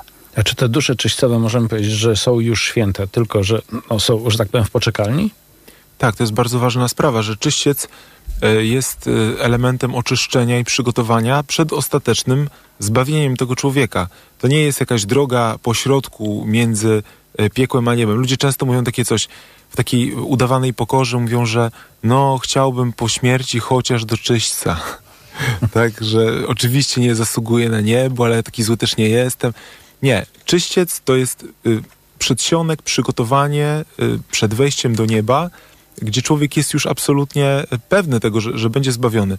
Tylko właśnie, tak jak pan powiedział, to trwa jakiś czas. Y, Jak ten czas funkcjonuje y, po śmierci, jak liczyć te dni, tygodnie. Y, Kiedyś była, była ta cała taksonomia, prawda, tam li- liczy, liczono ile dni odpustu za, za to czy za tamto y, otrzymuje dana dusza czyścowa. Trudno to policzyć ten No czas, tak, ale jest to kaplerz to pierwsza sobota po śmierci Tak, chodzi do tak. nieba. No tak, to, są, to jest obietnica, tak. Natomiast jaka, jaka sobota? Ziemska czy niebieska? No. Miejmy nadzieję, że ta ziemska, że to naj, jak najprędzej nas, e, nas nastąpi. Ale rzeczywiście człowiek ma wtedy pewność już zbawienia. E, Tak, takie piękne, słyszałem porównanie, która święta mówi, e, że czyściec można porównać do takiej sytuacji, kiedy panna młoda idzie do kościoła na ślub i e, m, zorientuje się, że ma brudną suknię, prawda? Więc ona się cofa, żeby tą suknię e, o, oczyścić, natomiast e, jest pewna tego, że, że tam dojdzie do tego kościoła i że, że, że się odbędzie cała ceremonia zaślubin z oblubieńcem. Więc to jest coś podobnego, że, że mam pewność zbawienia, natomiast muszę przejść przez y, oczyszczenie. Oczyszczenie, to jeszcze dodajmy, bardzo bolesne. Y, jest mowa o tym, że to jest ogień oczyszczający, tak? To nie jest ogień y, ten sam, y, którym jest ogień piekielny. To jest ogień w czyśćcu miłości, która mnie oczyszcza, ale jednak ogień. To nie jest przyjemne miejsce lekkie i, y, i jakbyśmy powiedzieli fajne. To jest, to jest trudna, y, Tak. trudna droga. Wielokrotnie y, mistycy święci mówili, że jeden dzie- dzień czyśćca jest straszniejszy niż całe życie w najgorszych cierpieniach. Y, Może nam się to wydawać lekką przesadą, ale opisy i relacje dusz czyśćcowych y, składane wielu świętym i mistykom w sposób czasami bardzo obrazowy i wstrząsający pokazują tą rzeczywistość oczyszczenia. Jezus mówi bardzo wyraźnie, chociażby siostrze Faustynie, że tutaj na ziemi wszyscy jesteśmy zanurzeni w miłosierdzie. Natomiast sprawiedliwość, y, która jest właśnie oczyszczeniem przed wejściem do nieba, sprawiedliwość Boża, y, jest nam manifestowana właśnie w czyśćcu po, po tym sądzie szczegółowym. Chciałbym przeczytać, jeśli można, przytoczyć opis jednej z mistyczek, właśnie na czym polega to pierwsze oczyszczanie się w momencie śmierci. Ona właśnie też mówi to, że życie, nawet najdłuższe i najbardziej przykre, jest niczym w porównaniu do jednej chwili spędzonej w czyśćcu. I mówi tak dalej. Z jaką radością dusza wróciłaby na ziemię, na nędzę, na poniewierkę, na choroby, na poniżenia i jakby je teraz umiała pożytecznie znosić. Na ziemi można się każdą chwilą zasługiwać Bogu. Można sobie zaskarbić Jego łaskę i przebaczenie. Tu niczego już dla siebie zrobić niepodobna. Dusza stoi wobec prawdy i ma najgłębsze zrozumienie, że to, co ją czeka, jest sprawiedliwym następstwem win i własnych zaniedbań. Za łaskę, za dowód niepojętej dobroci Bożej uważa to właśnie, że będzie mogła cierpieć. Jednym, wszystko ogarniającym spojrzeniem widzi już teraz swoje zaniedbania, niedociągnięcia, zlekceważenia i niewyskiwania w sobie dobrych możliwości. Widzi także, że każde najlżejsze, a podchwycone dobrą wolą drgnienie serca ku dobremu nie zostało pominięte. Każdy dobry uczynek, najdrobniejsze choćby przezwyciężenie dla Boga skażonej natury – każdy wzlot myślą ku niemu został jej policzony, potrącony z długu i zapisany na jej dobro. Dusza po śmierci zachowuje wszelkie duchowe uczucia. Nie ma zmysłów ani ciała, które by mogły odczuwać ból fizyczny. Zostają jej jednak cierpienia moralne. O wrażliwości i rozpiętości tych uczuć człowiek nie może sobie stworzyć nawet najmniejszego pojęcia. Jeszcze fragment, bardzo ciekawy. Do chwili pogrzebu dusza nie oddala się jeszcze od ziemi są to ostatnie chwile przed podjęciem kary czy nagrody, kiedy jej wolno jeszcze niewidzialnie krąży wśród ludzi. Pod słowami do chwili pogrzebu rozumie się okres czasu, który, dzieli, y, który ma dzielić śmierć od pogrzebania ciała. Gdyby katolik, y, mówi e, Fula Chorak, ta mistyczka, która miała praktycznie przez całe swoje życie kontakt z uszami czyśćcowymi, dzięki jakimś tragicznym okolicznościom nie został pochowany trzeciego dnia po śmierci dusza jego po upływie tego czasu i tak oddali się od ziemi. Dla duszy skazanej na czyściec, i to jest też bardzo ważne dla nas, dla duszy skazanej na czyściec, jest bardzo ciekawe, rodzina ani bliscy nie mają najmniejszego znaczenia, o ile nie można się od nich spodziewać pomocy. A jedyną formą tej pomocy i dowodem miłości czy przyjaźni, jakiego wtedy od ludzi się pragnie i na jaki się czeka, jest modlitwa. Nieopisane cierpienia sprawia duszy niemożność powiedzenia ludziom, że ich łzy i smutek nie przynoszą jej żadnej ulgi ani korzyści, że utrudniają tylko to i tak straszne w swej powadze przejście i że ich ludzkie cierpienie są niczym wobec mąk, na jakie ją niejako wydają, odmawianiem jej jedynego wsparcia, modlitwy, ofiary i dobrych uczynków. O, gdyby ludzie tacy wiedzieli, gdyby pomyśleli, gdyby spróbowali się wczuć w bezradną rozpacz takiej duszy – być tuż obok swoich najdroższych, błagać ich o pomoc, dobijać się do ich sumienia i serca, wiedzieć, że to są ostatnie chwile łączności ze światem, które urwą się bezpowrotnie, chcieć krzyknąć na odchodnym, jakiego potrzebują ratunku, a widzieć często, jak ci najbliżsi właśnie oddają samolubnie się własnej boleści, jak zasłuchani we własny ból pochylają się nad pustym ciałem, z którego jedyny sens się wycofał. Dlatego też, jeśli dusza straci nadzieję wzbudzenia w najbliższych myśli o modlitwie, Szuka gorączkowo nawet wśród obcych kogoś, kto by jej tego nie odmówił. I gdy znajdzie, jakże umie być wdzięczna za pomoc, jakże stara się natchnieniami umocnić go w tej intencji. Trwa też przy nim do ostatniej chwili, nie wracając już wcale między swoich, którzy ją zawiedli, zasmucili i ukazali w całej pełni egoizm ziemskich uczuć. O poruszające słowa, to zostajmy może na chwilkę z nimi, żeby mm, je przemyśleć. Krótka przerwa na muzykę. Dziś e, w Nocnych Światłach rozmawiamy o duszach zmarłych, czy o tym, czy są obecne wśród nas. Gośćmi programu są księża Dominik Chmielewski i Michał Majer, salezjanie, duszpasterze akademicy UKSW oraz Aleksandra i Magda ze wspólnoty tego duszpasterstwa. Zapraszamy do pisania do nas 7123 pytania, myśli bądź wątki słać można na ten numer SMS-ami, rozpoczynając je słowem plus, a na Facebooku komentarze na profilu Radia Plus. Wracamy za chwilkę. Radio Plus. Nocne światła. Nocne światła.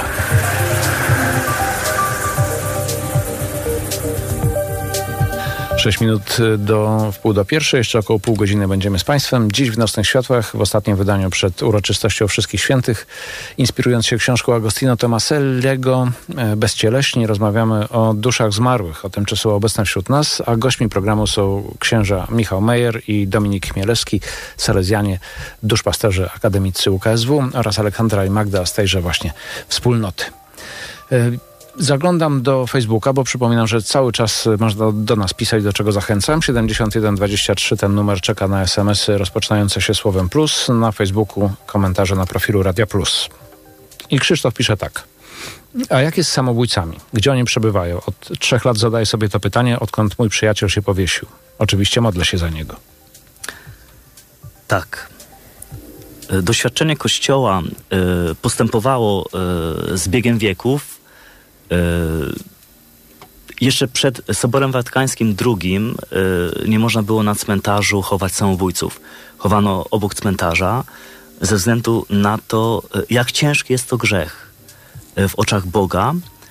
Odebranie sobie życia jest jakby zniszczeniem całego planu, jaki Bóg miał dla tego człowieka, planu jedynego, niepowtarzalnego, dla którego Bóg go stworzył. To warto mieć tą świadomość, że E, dla Boga każdy z nas jest jedyny i niepowtarzalny. I nie można e, kimś zastąpić nas.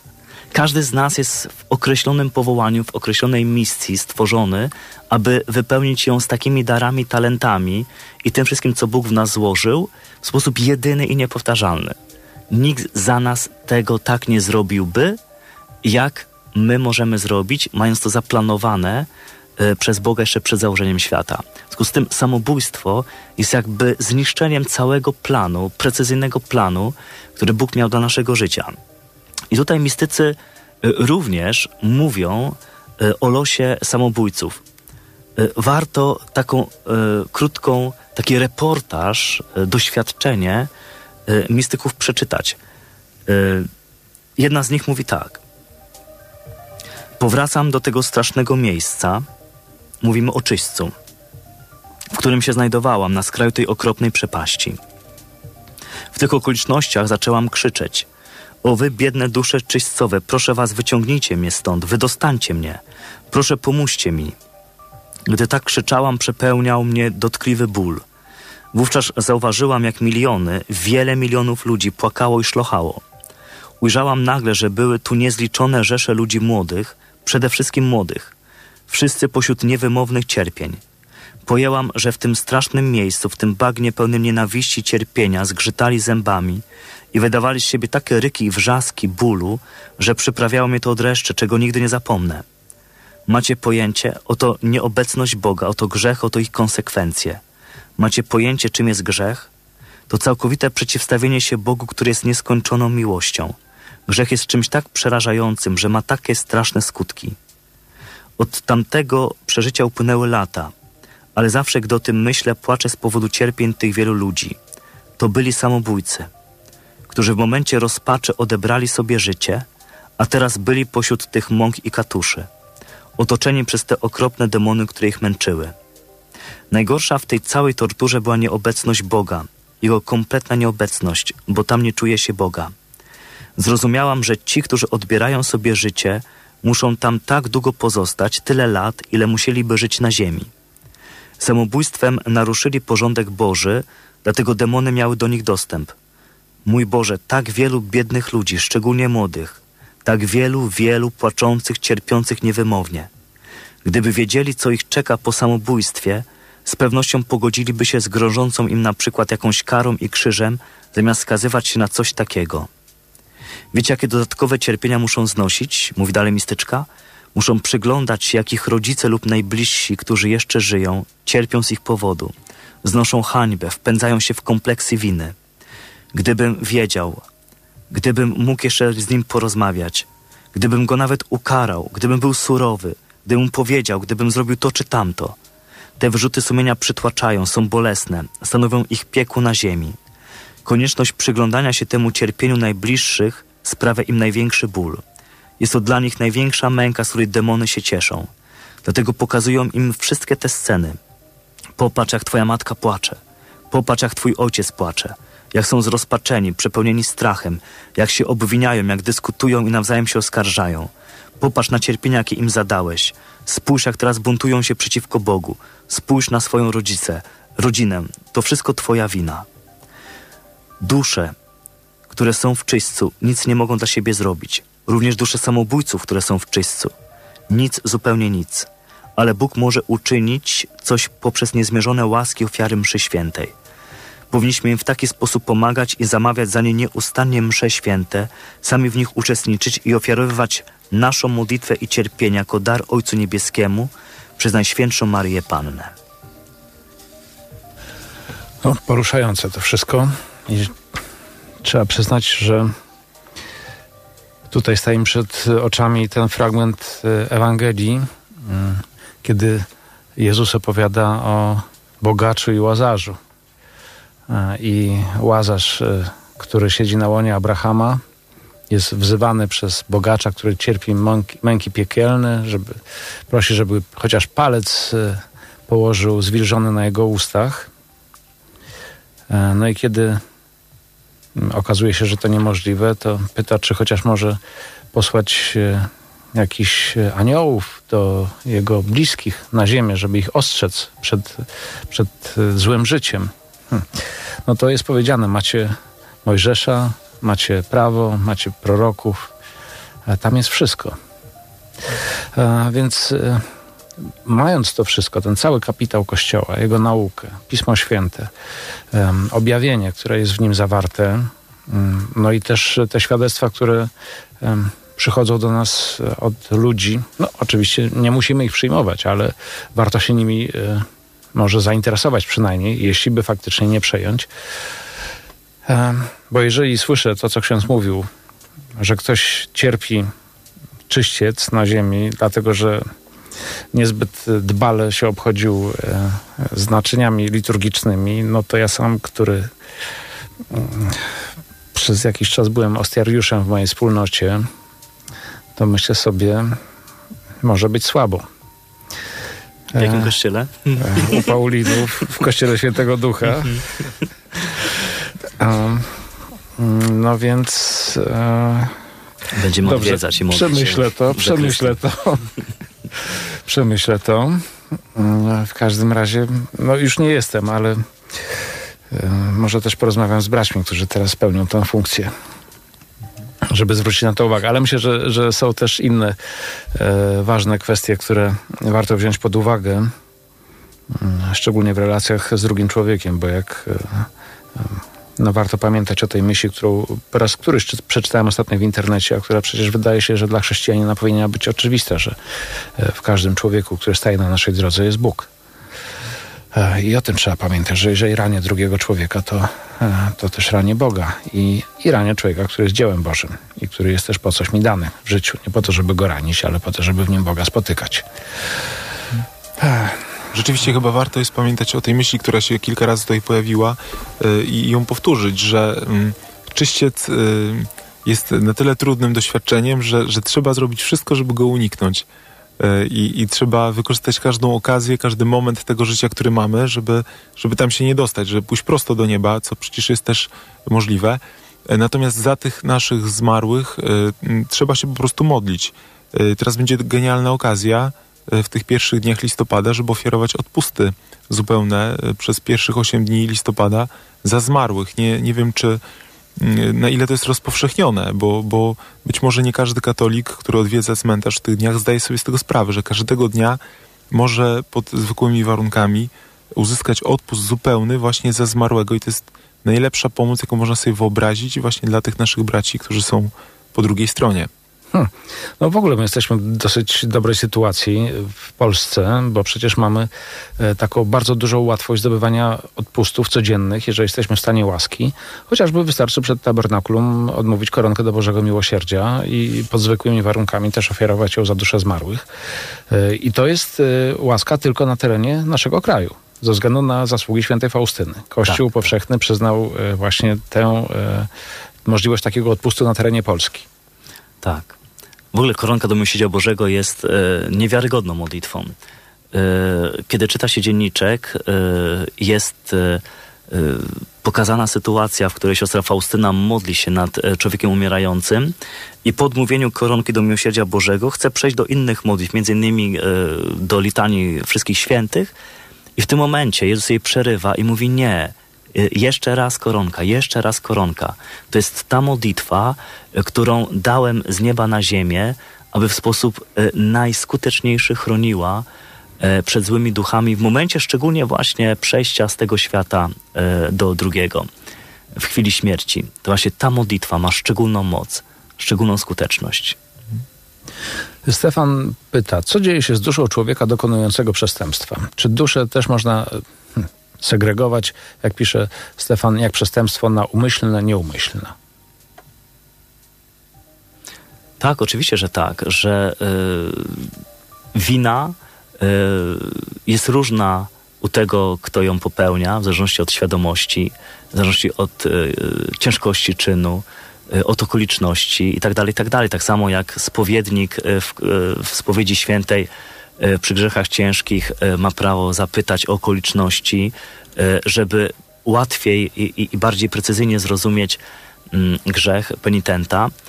Tak samo również w momencie, kiedy stajemy na sądzie szczegółowym przed Bogiem dokonuje się już bez żadnych makijaży duchowych, mechanizmów usprawiedliwiających stanięcie w prawdzie naszego życia, kiedy jest odsunięte wszystko.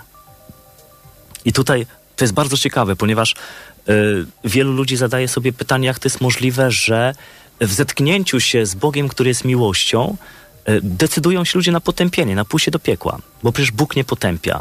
Człowiek sam dokonuje wyboru bycia potępionym. Jak to jest możliwe?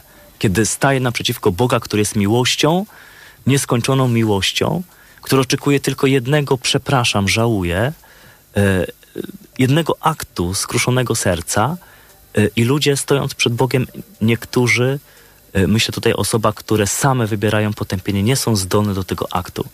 Jak to jest możliwe? Chyba dlatego, że się y, utrwaliło we mnie, utrwaliła się we mnie ta postawa, prawda? Jeżeli przez całe życie nawet po omacku szukałem Boga, tęskniłem za Nim, pragnąłem Go, to kiedy wreszcie widzę Go, jakim jest, to, to spotykam się z moją największą tęsknotą. Jeżeli całe życie, nawet podświadomie uciekałem y, przed Nim, to, to w momencie, kiedy Go zobaczę, mam już utrwaloną w sobie tę postawę uciekania, odwracania się od Boga i to, to chyba e, tak naj, najlepiej... Te wybory, które dokonywaliśmy na ziemi, one się uwieczniają w momencie śmierci, nie? Natomiast... Y bardzo ważny jest ten wątek dotyczący stanięcia przed Bogiem, który jest równocześnie prawdą, absolutną prawdą. Czyli e, jak tu jest bardzo ważne, w cudzysłowie, trenowanie spowiedzi świętej, nie? żal za grzechy. E, to, że my systematycznie przyznajemy się do swoich win, do swoich grzechów i potrafimy uklęknąć i przeprosić Boga w spowiedzi świętej, e, trenując skruchę serca, prawda? Trenując tutaj w cudzysłowie oczywiście. E, nieustannie trenują swoją duszę do tego, aby powiedzieć przepraszam za grzech, żałuję Boże, przepraszam. Człowiek, który nie chodzi do spowiedzi świętej, bo nie ma z czego się spowiadać. W momencie, kiedy staje przed Bogiem... Znaczy, twierdzi, że nie ma się tak, czego oczywiście, że tak. W momencie, kiedy staje przed Bogiem, który jest absolutną prawdą i ten człowiek widzi prawdę o sobie w sposób wstrząsający, prawdę całego życia, nie jest w stanie bardzo często e, przyjąć tej prawdy o sobie, bo nie przyjmował ją przez całe życie. Tak jak przyjmowali ci, którzy potrafili co miesiąc przyznać się do swoich błędów, do swoich grzechów, do swoich win i poprosić o przebaczenie. E, I ten wstrząs zobaczenia siebie w prawdzie Bożej, pomimo nieskończonej Bożej miłości, która dosłownie wyciąga ręce i prosi o jedno przepraszam, jest tak trudne, że zatwardza serce, można powiedzieć, na wieczność i człowiek sam siebie skazuje E, na potępienie. Trudne to, że jest to możliwe, ale Bóg dał swojej miłości nam wolność wyboru. Słyszałem o egzorcyzmie, y, gdzie y, i sam raz byłem świadkiem zdumiewającego doświadczenia, kiedy y, w jakiś sposób słyszałem diabła, który jakoś żałował za to, co zrobił parafrazuję te słowa, które wypowiadał. Gdybym wiedział, co mnie czeka, nigdy bym tak nie wybrał. Gdybym wiedział, co mnie czeka. Nigdy bym tak nie wybrał. W jaki sposób przyznanie się do żalu, nie? Do, do, do, do winy. I egzorcysta y, mówi tak, y, więc uklęknij przed Bogiem i poproś Go o przebaczenie. I wtedy jeden wielki ryk, nie, nigdy. Czyli można w jakiś sposób zobaczyć siebie w prawdzie, zobaczyć swoje grzechy, ale być zbyt dumny, żeby poprosić o przebaczenie Boga, nie? I, i, i to jest często też doświadczenie y, naszego życia, że widzimy swoje grzechy, widzimy swoje winy, ale jesteśmy zbyt dumni, żeby poprosić o przebaczenie. Czyli generalnie przygotowujemy się na, na to, że nie będziemy mieli umiejętności poproszenia o przebaczenie, kiedy staniemy przed Bogiem. Ale to, co ksiądz użył tutaj jako sformułowania trening, myślę, że jest jak najbardziej adekwatne. No jest to pewnego rodzaju fitness duchowy, który jest. ma nas doprowadzić do tego, żeby oczyszczać duszę w stanięciu przed Panem Bogiem po prostu. No, jeżeli to dla kogoś może być obrazowe stwierdzenie, to czemu go takiego nie tak używać? Jest, tak jest. Dziś rozmawiamy w Nocnych Światłach em, o duszach zmarłych, o tym, czy są obecne wśród nas. Goście programu, księża Michał Mejer i Dominik Chmielewski, salezjanie, duszpasterze akademicy UKSW oraz Aleksandra i Magda ze wspólnoty duszpasterstwa tegoż właśnie. 20 minut pozostało do godziny pierwszej, to już ostatnia część będzie za chwilę mm, dzisiejszego wydania Nocnych Świateł. Y, To też również ostatnia okazja, by do nas napisać albo SMS-em na 7123 rozpoczynając słowem plus, albo na Facebooku na profilu Radia Plus w komentarzach. Wracamy za moment po krótkiej piosence. Radio Plus. Nocne światła. Nocne światła. Za kwadrans pierwsza, ostatnie 15 minut dzisiejszego wydania Nocnych Świateł. Rozmawiamy w nim tuż przed uroczystością Wszystkich Świętych o duszach zmarłych, o tym, czy są obecne wśród nas. Goście programu księża Michał Mejer i Dominik Chmielewscy, Chmielewski, e, salezjanie, duszpasterze akademicy z UKSW, mm, Aleksandra i Magda ze wspólnoty duszpasterstwa akademickiego tejże uczelni szacownej. Państwa też zapraszamy, bo ostatnia okazja, by do nas napisać albo SMS-em na 7123, rozpoczynając słowem plus, albo na Facebooku na profilu Radia Plus. No i w jednym z SMS-ów e, taka myśl e, przez słuchaczkę zawarta. Jola pyta i prosi o wypowiedź. To po co te wszystkie gadżety, że tak powiem, na grobach w Dniu Wszystkich Świętych, skoro najważniejsza jest modlitwa, dlaczego kapłani o tym nie mówią i e, nie przekonują wiernych, że to niepotrzebny przepych? To warto by się nad tym zastanowić porozmawiać, czy to rzeczywiście jest niepotrzebny y, przepych, bo y, to jest jakiś wyraz y, takiej naszej normalnej ludzkiej potrzeby i, i pragnienia, żeby, tak jak się y, można by powiedzieć, czy dawanie ukochanej osobie prezentu jest potrzebne czy niepotrzebne, skoro najważniejsze jest to, że cię kocham. Y, I tutaj myślę, że to jest taka ludzka, normalna potrzeba, że, że chcę wyrazić tą y, właśnie pamięć i miłość poprzez przyniesienie kwiatów, y, lampek y, i tak dalej, zadbanie o ten grób, więc żeby tak nie uduchowić tego za mocno. My jesteśmy po prostu cieleśni i dlatego tego potrzebujemy. Jest też w człowieku coś takiego zawsze jak, jak taka religijność y, naturalna, taka skłonność do, do wyrażania bardzo zewnętrznie y, swoich uczuć i, i, i doświadczeń religijnych i ona nie jest też y, całkiem zła, prawda? Nie, nie, nie jesteśmy takimi istotami na wskroś duchowymi, więc tylko i wyłącznie nie? jesteśmy cieleśni. Tak, tak bym chyba na to odpowiedział. A w innym SMS-ie takie słowa znajduję. Mam kolegę, który wierzy w reinkarnację i wulgarnie wypowiedział się o Duchu Świętym. Czy tym samym skazał się na potępienie? Czy jest sens, aby modlić się o jego nawrócenie? Y, no, grzech przeciwko Duchowi Świętemu albo bluźnierstwo przeciwko Duchowi Świętemu raczej nie polega na, na słowach. Y, Chociaż oczywiście y, tak to można dosłownie przeczytać, ale bardziej w nauczaniu Kościoła chodzi o taką utrwaloną postawę buntu przeciwko Bogu. Ten y, kolega, ten chłopak, y, dopóki żyje, ma szansę na to, żeby zrozumieć, nawrócić się, y, przebłagać Boga za, za wszystkie swoje grzechy. Ma szansę się zmienić, mówiąc krótko. Natomiast to- nie chodzi o to, że wypowiedział jakąś magiczną formułę, która go automatycznie wyrzuciła poza nawias łaski Bożej. Natomiast jeżeli będzie w tym trwał, to niestety właśnie się do tego tak bardzo przyzwyczai tak bardzo się tym utrwali, że może nie być już potem odwrotu. Krzysiek w innym SMS-ie pyta, czy tak zwana transkomunikacja, czyli próbowanie rozmowy z duchami jest grzechem? Proszę o dodatkowy komentarz. Tak, mówiliśmy już dzisiaj o tym, y, że rzeczywiście y, wszelkie praktyki y, magii, czarów, przez które dążymy do pozyskania tajemnych sił, wszelkie próby uzyskiwania kontaktu z, z duchami, to jest wszystko są praktyki, których bardzo wyraźnie zabrania i Pismo Święte, i cała tradycja Kościoła. Jest taki fragment z Księgi Powtórzonego Prawa, gdzie Bóg bardzo wyraźnie mówi, że nie znajdzie się pośród ciebie nikt, kto by przeprowadzał przez ogień swego syna lub córkę, uprawiał wróżby, gusła, przepowiednie, czary, nikt, kto by uprawiał zaklęcia, pytał duchów, widma, zwracał się do umarłych. Obrzydliwy jest dla Pana każdy, który to czyni. Więc są to grzechy, które absolutnie nie pozostawiają żadnych wątpliwości e, i, i my mamy po prostu całkowicie e, od tego stronić. Tak? Jakiekolwiek kontakty przez nas inicjowane ze światem zmarłych, e, duchów, jakkolwiek je nie nazwiemy, dobrych, złych, są przez Pismo Święte i przez Kościół bardzo stanowczo zabronione.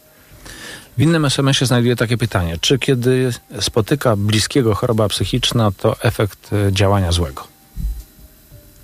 to nie jest y, łatwa sprawa i wymaga y, rozeznawania. To jest problem, z którym się spotyka każdy egzorcysta mm, i, i który nieraz trudno jest mu rozstrzygnąć, ponieważ może być i tak, i tak. Może być tak, że rzeczywiście duch zły ukrywa się pod pozorem choroby psychicznej, a może być tak, że jest to choroba psychiczna, która trwoni czas egzorcysty i, i, i przedłuża czas do, do wyleczenia.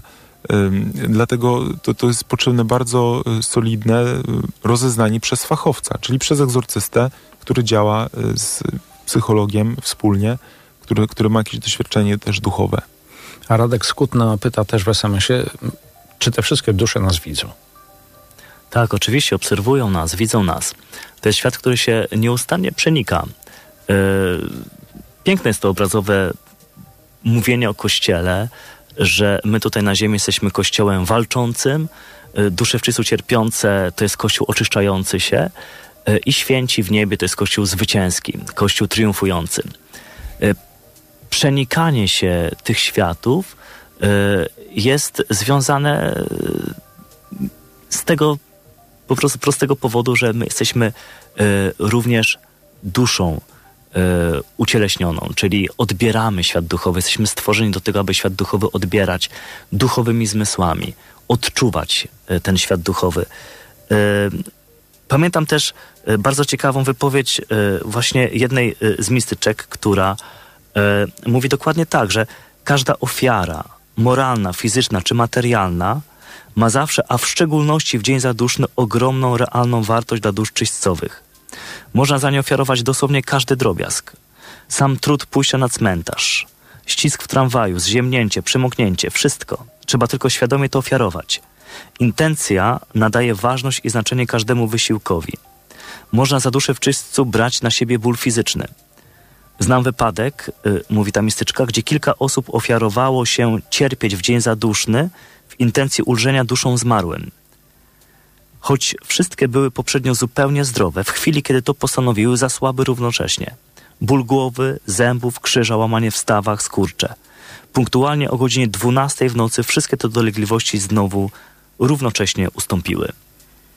Czyli y, odbieramy nie tylko na poziomie wizualnym, że ktoś tam widzi, prawda, w jakimś momencie ducha czy dusze, które przychodzą do niego, ale odczuwamy również e, jakiś ból, e, jakieś dotknięcie w naszym ciele. E, Wojtek napisał na Facebooku, tylko w Polsce można doznać odpustu zupełnego. Nie, ja tutaj muszę doprecyzować. Odpusty można w każdym zakątku świata. E, natomiast dla Polski jest przewidziany e, mocą decyzji Kościoła ten odpust, o którym mówiłem, czyli koronka do Bożego Miłosierdzia, która jest e, wypowiadana przed Najświętszym Sakramentem albo przed tabernakulum. Oczywiście na zwykłych warunkach, czyli tego dnia przyjęcie Pana Jezusa w Eucharystii, e, stan łaski uświęcającej, modlitwa w intencjach papieża i wolność od grzechu. Nie zapomniałem niczego? Tak, wszystko jest dobrze. No, to dobrze. to przynajmniej pamiętam. Jedynie można dodać jeszcze, żeby zawyżyć poprzeczkę od grzechu lekkiego nawet. Wolność od grzechu lekkiego. Hmm. No dobra, to już zmienia perspektywę. E, Teraz... e, Ale jeśli nie otrzymamy odpustu y, zupełnego, to na pewno bez tego ostatniego warunku mamy odpust częściowy, który też możemy ofiarować za dusze wszyscy cierpiące. E, Zaglądam jeszcze do Facebooka. Tutaj Bogdan napisał taką historię. E, Znam historię osoby, której towarzyszą dwa byty. Piszę byty, bo nie wiem co lub kto to jest. Są to co najmniej dwa różne byty, dobry i zły. Jeden pomaga, prowadzi, chroni, a drugi czyni różne złośliwości. Ta sytuacja trwa od lat. Były modlitwy o uwolnienie, był egzorcyzm. Pomogło na krótko. Ta osoba poddała się, pogodziła z tym, że tak musi być. Co księża by jej powiedzieli? Hmm, Myślę, że mamy za mało szczegółów, żeby tą sprawę rozeznać tak na gorąco. E, ale tak w pierwszej chwili e, wydaje mi się, że e, tak dobry byt, jak i zły byt to są te same byty e, prosto z piekła. E, Mistrzowie życia duchowego bardzo często mówią o tym, że w pewnym momencie w walce duchowej demony zaczynają dzielić się na tak zwane dobre, które niby chronią, e, i te złe, z którymi te dobre niby walczą. I to jest jedna z bardzo takich subtelnych pułapek duchowych. Mhm. Dobry więc- glina, zły glina. tak? Dokładnie tak? dokładnie tak. E, Ale to jest ta sama glina. to jest ta sama glina. Dlatego e, nie mając e, więcej danych, trudno mi powiedzieć, jak poprowadzić tą osobę. Natomiast wydaje mi się, że, że może być to efekt właśnie pewnego zwiedzenia demonicznego na tak zwany podział na duchy dobre i złe, które się generalnie bawią i dręczą tą duszę nieustannie tego człowieka.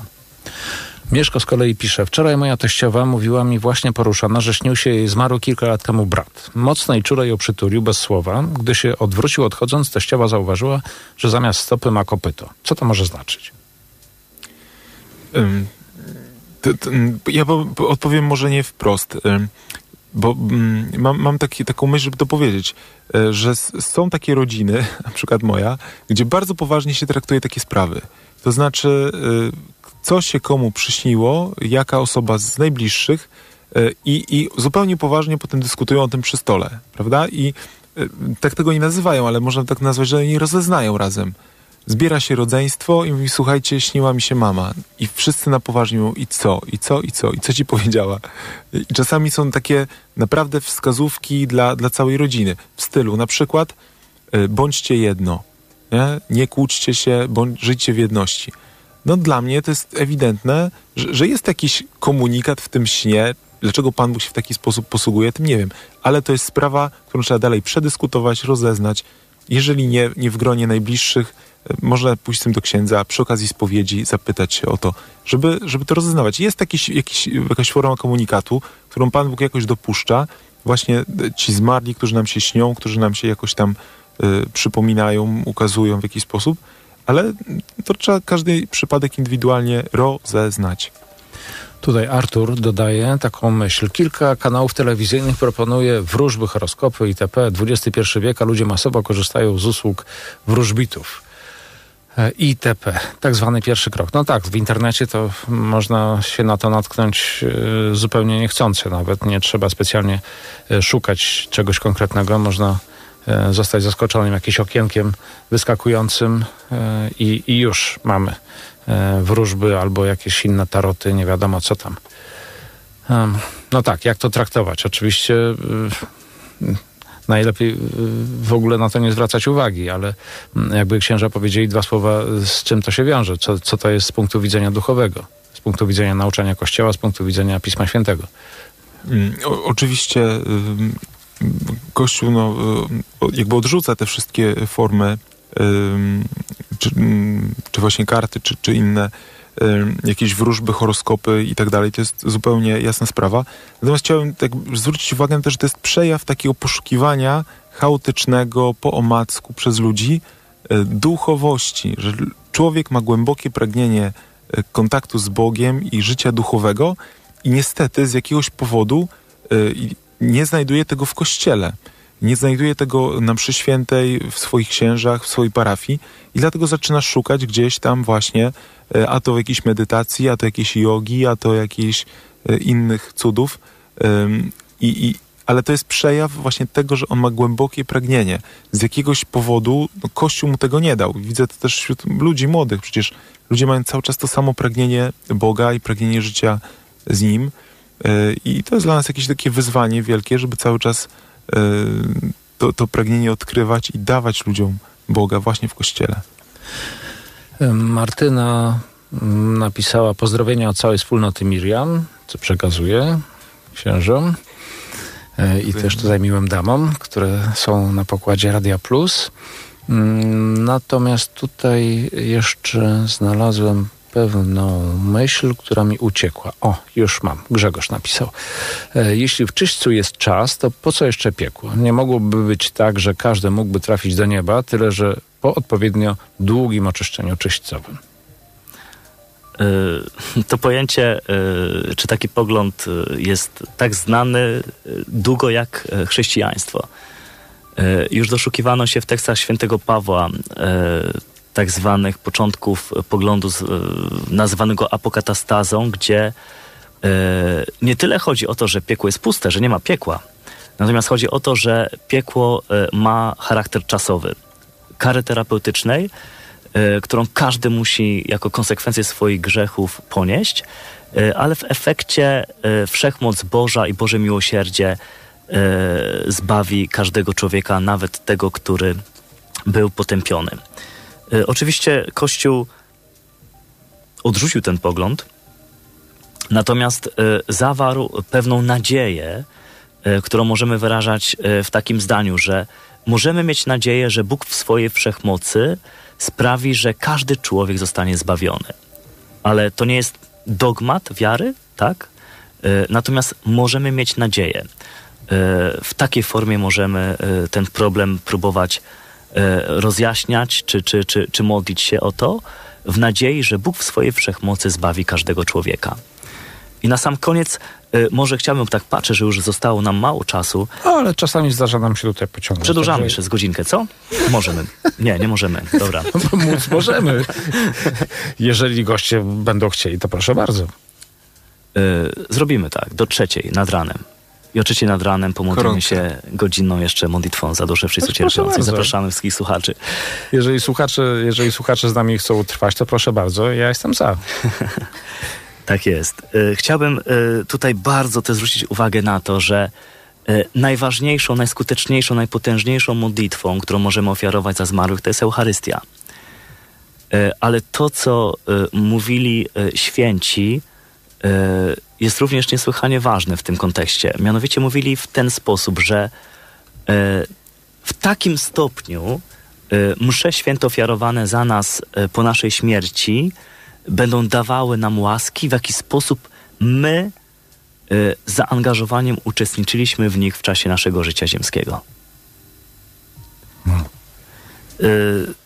Przytoczę fragment wypowiedzi. Czy to moment, jeszcze, tak, bo to ksiądz bardzo ważną rzecz mhm. powiedział, czyli taka niedbała modlitwa, czyli mówiąc...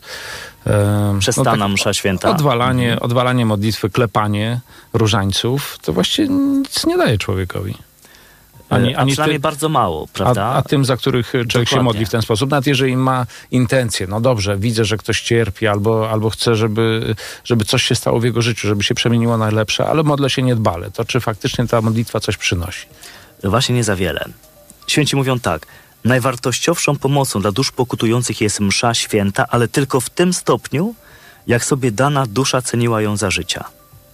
Wielkie znaczenie mają msze święte w dni powszednie, na których byliśmy, a więc nie tylko te obowiązkowe w niedzielę i święta. Gdyby wiedziano, jak wielką wartość dla wieczności posiada uczestniczenie w jednej mszy świętej, kościoły byłyby pełne nie tylko w święta. W chwili śmierci za życia wysłuchane msze święte są dla nas wielkim skarbem i mają większą wartość od ofiarowanych msz świętych za nas po śmierci. Czyli e, generalnie rzecz biorąc, chodzi o to, że e, już tutaj, co siejemy, to będziemy zbierać. E, co, co zasiejemy tutaj na ziemi, zbierzemy wieczności. Jeśli siejemy niedbalstwo, obojętność, e, to, że nam się nie chce chodzić na mszę świętą, traktujemy jako ciężki obowiązek, a jeśli już jesteśmy, to i tak sercem i myślami jesteśmy zupełnie gdzieś indziej. y, i trwonimy przez te 45 minut nieprawdopodobne łaski, które możemy przez tą jedną mszę świętą uzyskać dla siebie w kontekście wieczności naszego zbawienia, to rzeczywiście warto by sobie zrobić potężny rachunek sumienia, nawet w kontekście inwestycji e, na wieczność, nie? Że jeśli maksymalnie będę zaangażowany w przeżywanie mszy świętej tutaj na ziemi, to jest to najskuteczniejszy środek, żeby przejść w najpiękniejszy sposób po śmierci e, do nieba. A jednocześnie, jeśli będą ofiarowywane za mnie msze święte tutaj na ziemi, to one będą miały taką wartość, z jaką ja e, traktowałem je tutaj na ziemi. Kwestia bardzo istotna, ale ja w kwestii formalnej teraz. Czy ksiądz mówił serio o, o mm, rozmowie do trzeciej koronce? Pewnie, że tak. No to dobrze, ale a pozostali goście? Zamurowało. Bo ja jestem gotów podjąć to wyzwanie. Na, Ale na czy to, słuchacze będą nas słuchać, bo my się No, się tego nie wiemy. pójdą spać. To Tego nie wiemy. W piątkę sobie porozmawiamy dalej. Kawę jeszcze mamy troszkę, to E, No dobrze, to zrobimy tak. E, Może teraz e, spróbujemy zrobić rzecz następującą. Otóż, ponieważ ten program zazwyczaj kończy się o pierwszej, to eksperymentalnie jeszcze e, zastanowimy się i zobaczymy, na ile e, tutaj wszyscy rozważymy, mamy siły, by, by tutaj w studiu być razem. Em, I następne wejście jeszcze jest e, jakby stuprocentowo zagwarantowane, e, co jest sprawą o tyle wyjątkową, że program nieraz kończył się e, przed drugą, ale zawsze było to sześć wejść, chociaż niektóre były niemiłosiernie długie, ale raz było siedem wejść, więc teraz będzie wyjątkowa sytuacja po raz drugi w historii trzystu kilkudziesięciu wydań Nocnych Światów. Będzie siódme wejście, siódma część, za chwilę, po krótkiej przerwie muzycznej. Ale ponieważ e, nominalnie program powinien się skończyć 4 minuty temu o pierwszej, to ja obiecałem książki dla słuchaczy, którzy byli przygotowani, że o tej pierwszej e, pewnie się położą spać. Mm, Więc ci, którzy chcą jeszcze z nami pozostać, niech pozostaną, E, a ci, którzy no, z jakichś powodów e, muszą głowę położyć na poduszce, mm, to zachęcam do tego, by teraz e, chwilę uwagi poświęcili, bo jest możliwość stania się właścicielem książki Agostino Tomasellego Bezcieleśni, która stała się inspiracją do właśnie dzisiejszego programu, w którym rozmawiamy o duszach zmarłych, o tym, czy są obecne wśród nas. No, tradycyjna metoda. E, Albo SMS-ami na 7123 piszemy plus nocne światła i siódma osoba stanie się właścicielem tejże książki plus nocne światła, a na Facebooku wystarczy napisać nocne światła bez plusa i tam czwarta osoba stanie się właścicielem książki. Y, Jeśli chodzi o przesłanie, to będę się kontaktował albo przez Facebook, albo przez e, te numery telefonu, które tutaj przy SMS-ach się wyświetlają. Mm, Słuchacze, którzy już dostali nagrody, wiedzą dobrze, że taka forma się sprawdza, więc o to proszę się nie martwić. Ja już się odezwę jutro. Najpóźniej o to y, zapytam, jak przekazać nagrody. Czyli wysyłamy na 7123 SMS o treści plus nocne światła. Siódma osoba staje się właścicielem książki. Przypomnę, że SMS kosztuje złotówkę i 23 grosze z VAT-em. A na Facebooku, na profilu Radia Plus, w komentarzach pod pierwszym postem od góry, nocne światła wystarczy napisać i czwarta osoba dostaje książkę. Wracamy do Państwa za chwilę na siódme wyjątkowe wejście w dzisiejszym wydaniu Nocnych Świateł, w którym przypomnę, że rozmawiamy o duszach zmarłych, czy są obecne wśród nas, a goście w studiu księża Dominik Chmielewski i Michał Mejer, salezjanie, duszpasterze akademiccy UKSW oraz y, Aleksandra i Magda z tejże właśnie wspólnoty przy Uniwersytecie Kardynała Stefana Wyszyńskiego.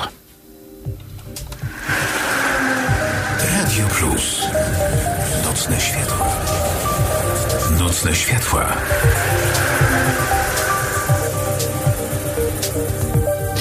Zupełnie wyjątkowa sytuacja, 11 minut po godzinie pierwszej. E, Siódma część dzisiejszego wydania Nocnych Światła. Absolutnie wyjątkowa sytuacja. Po raz drugi się to zdarza w paroletniej historii tego programu, więc e, no, proszę Państwa, jesteście świadkami wydarzenia niezwykłego. No ale też program jest niezwykły, bo to ostatnia audycja przed e, e, uroczystością Wszystkich Świętych i rozmawiamy o hmm, sprawach co najmniej niezwyczajnych, czyli o duszach zmarłych, o tym, czy są obecne wśród nas.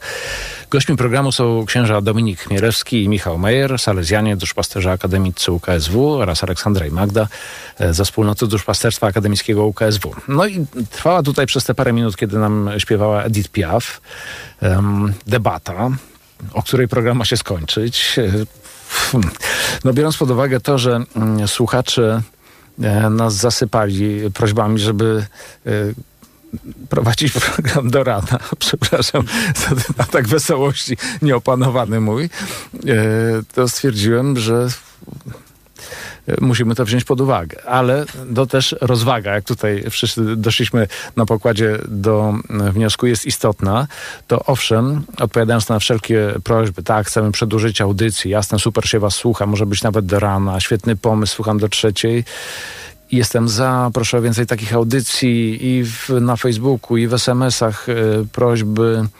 E, słucham, e, jestem w pracy, słucham ścierkami na całym ciele. Dziękuję, czekam na koronkę. Koronka będzie, będzie modlitwa, obiecuję. Też zapraszamy do tego, żeby się w tą mod- modlitwę włączyć. Mm, Będziemy się modlić także i w tych intencjach, które Państwo tutaj prosicie. Na przykład jest prośba o moje nawrócenie.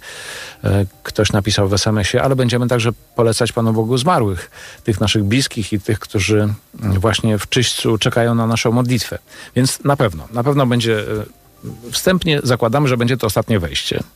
To też, żeby, bo doszliśmy tutaj e, tak e, obrazowo rzecz ujmując, lepszy niedosyt niż przesyt. Na przykład Enzo Ferrari, e, legendarny twórca tejże marki samochodów sportowych, kiedy założył swoją firmę i rozpuścił Vici, że teraz on, legendarny kierowca wyścigowy, który ma niezwykłe doświadczenie w konstruowaniu i modyfikowaniu samochodów sportowych, zakłada firmę, która będzie produkował luksusowe samochody sportowe. Otóż zebrał zamówienia z całego świata i było 41. A ile samochodów wyprodukował? 40. Bo ważniejsze, żeby był pewien niedosyt. A e, ten niedosyt być może Państwa skłoni do tego, by sięgnąć po książkę Bezcieleśni Agostino Tomasellego, e, która stała się inspiracją do dzisiejszego programu, a także by zadawać sobie pytania i szukać na nie odpowiedzi u tych osób, o których mówią księża. Czyli u swoich kapłanów, u kierowników duchowych, u egzorcystów, u e, tych, których uważamy za przewodników duchowych, ale którzy są zakorzenieni w kościele, bo Jasne, możemy sobie różnych guru znaleźć, ale oni mogą nas zaprowadzić e, nie zawsze tam, gdzie byśmy e, wydawać by się mogło chcieli. E, Konkurs rozstrzygnięty. E, Ci z Państwa, którzy mają umiejętność podstawowego, podstawowej arytmetyki, doskonale wiedzą, którzy wygrali. Na Facebooku, przypomnę, jest to czwarta osoba. Mm, Wśród SMS-ów, no tego nie widać, ale ja wiem, że, że jest nią pewna osoba, która jutro może się spodziewać mojego telefonu. Mm, e, Już książki rozdane, także książek nie będzie, ale będziemy jeszcze my tutaj w studiu razem e, i z Państwem, mam nadzieję, przez te mm, no, paręnaście minut i na czas modlitwy również zapraszamy. I wróćmy teraz jeszcze do e, kwestii e, związanych z tematem dzisiejszej audycji, ale również z zagrożeniami duchowymi. Otóż e, parokrotnie pojawiły się tutaj takie terminy związane z tą rzeczywistością duchową, konkretnie złą. I warto by było może trochę je naświetlić, co one właściwie oznaczają. Co to jest okultyzm, co to jest ezoteryka. Tak. Okultyzm to jest generalnie wiedza o tajemnych siłach, o tajemnych mocach. Okultu znaczy tajemny z łaciny. Natomiast y, ezoteryka y, to jest y, pewna wiedza dostępna dla wtajemniczonych, którzy przeszli pewną inicjację w duchowości, która jest właśnie duchowością okultystyczną. Czyli można powiedzieć, że ezoteryka e, jest duchowością okultystyczną. Dla ludzi, którzy przechodzą pewną inicjację na kolejne stopnie wtajemniczenia. W tej Aha. wiedzy okultystycznej. Czyli jakby wejście w świat okultyzmu. Zdobycie pewnej wiedzy, która już, y, przez którą nabywa się pewne umiejętności. Tak. Czyli ezoteryk to jest ktoś, kto y, jest wtajemniczony w świat okultyzmu. A jaką, jak można rozróżnić, no bo mamy y, w kościele osoby, które nazywamy charyzmatykami. Prawda? Ci, którzy mają szczególny dar poznania, e, właśnie taką zdolność kontaktowania się e, z duchami, rozeznawania duchów, wskazywania na pewne rzeczy, no, chociażby podczas mszy z modlitwą o uzdrowienie. E, Takie wspólnoty modlą się, mówią, że mają dar poznania. Prawda? To, to jest charyzmatyk. No pewnie jeszcze można by to rozszerzyć. Gdyby księża tutaj dodali coś, co bardziej zgrabnie jest ujęte i szerzej, to na pewno o to poproszę, ale co w takim razie odróżnia charyzmatyków od takich osób, które nazywamy właśnie w okultyzmie mediami? Mm, Myślę, że przede wszystkim źródło e, tej wiedzy i tego poznania, które człowiek e, posiada. E, Ten człowiek, którego nazywamy charyzmatykiem, ma przede wszystkim jako fundamentalną cnotę pokorę. Zdaje sobie sprawę z tego, że nie jest nikim nadzwyczajnym i że nic nie może absolutnie bez Boga, tak jak mówi e, Ewangelia Jana, prawda? Beze mnie nic nie możecie uczynić. E, I wie ten, te- też ten człowiek, że to, co posiada, e, jest e, darem, jest zupełnie darmowe. Nie zasłużył sobie e, na to w żaden sposób swoim fantastycznym, wyjątkowym e, życiem, e, tylko Bóg e, upodobał sobie e, w tym człowieku, że tak go obdarował. E, Natomiast e, o ile e, rozumiem e, ideę bycia e, właśnie takim okultystą, ezoterykiem, medium, trzeba się sporo napracować, prawda, żeby własnym wysiłkiem wspinać się na kolejne szczeble poznania i, i posiadać różne moce. Poza tym te, używanie tych mocy człowieka wyczerpuje i męczy go, co się nie zdarza w, w przypadku posługi charyzmatycznej, bo tutaj człowiek wręcz odzyskuje nowe siły i Tak, ci, co zaufali Panu, odzyskują siły. otóż to, nie? Jak mówi Pismo Święte. Bo moc, źródło mocy nie jest we mnie. nie? Źródłem mocy jest, jest Chrystus. A mm, co może grozić człowiekowi, który em, no, zajmuje się takim, jak to już powiedzieliśmy, wywoływaniem duchów, tak zwanym wywoływaniem duchów, e, czyli no, spirytyzmem, nekromancją, czarną magią, krótko mówiąc.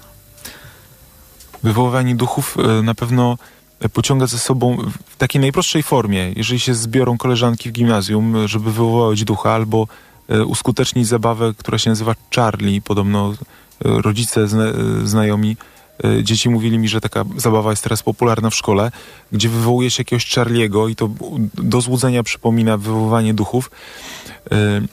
To, to zazwyczaj, tak jak, piszą w książkach, takie przykłady, świadectwa, kończy się to tym, że przez dwa lata człowiek ma poczucie y, lęki, jakieś poczucie obecności negatywnej wokół siebie, poczucie bycia obserwowanym y, i, i tak dalej. To, to jest to najczęściej takie coś się, się zdarza człowiekowi, nie? Czyli, czyli jakaś, jakieś otwarcie na wpływ złego ducha, którego w ten sposób prześladuje obecnością i wzbudzaniem lęku i różnych innych negatywnych uczuć w sercu i, to, to zaczyna się często od niewinnej, zupełnie banalnej zabawy, a kończy się właśnie takim, e, takim y, jakimś dręczeniem, prześladowaniem przez, przez długi czas. Nie?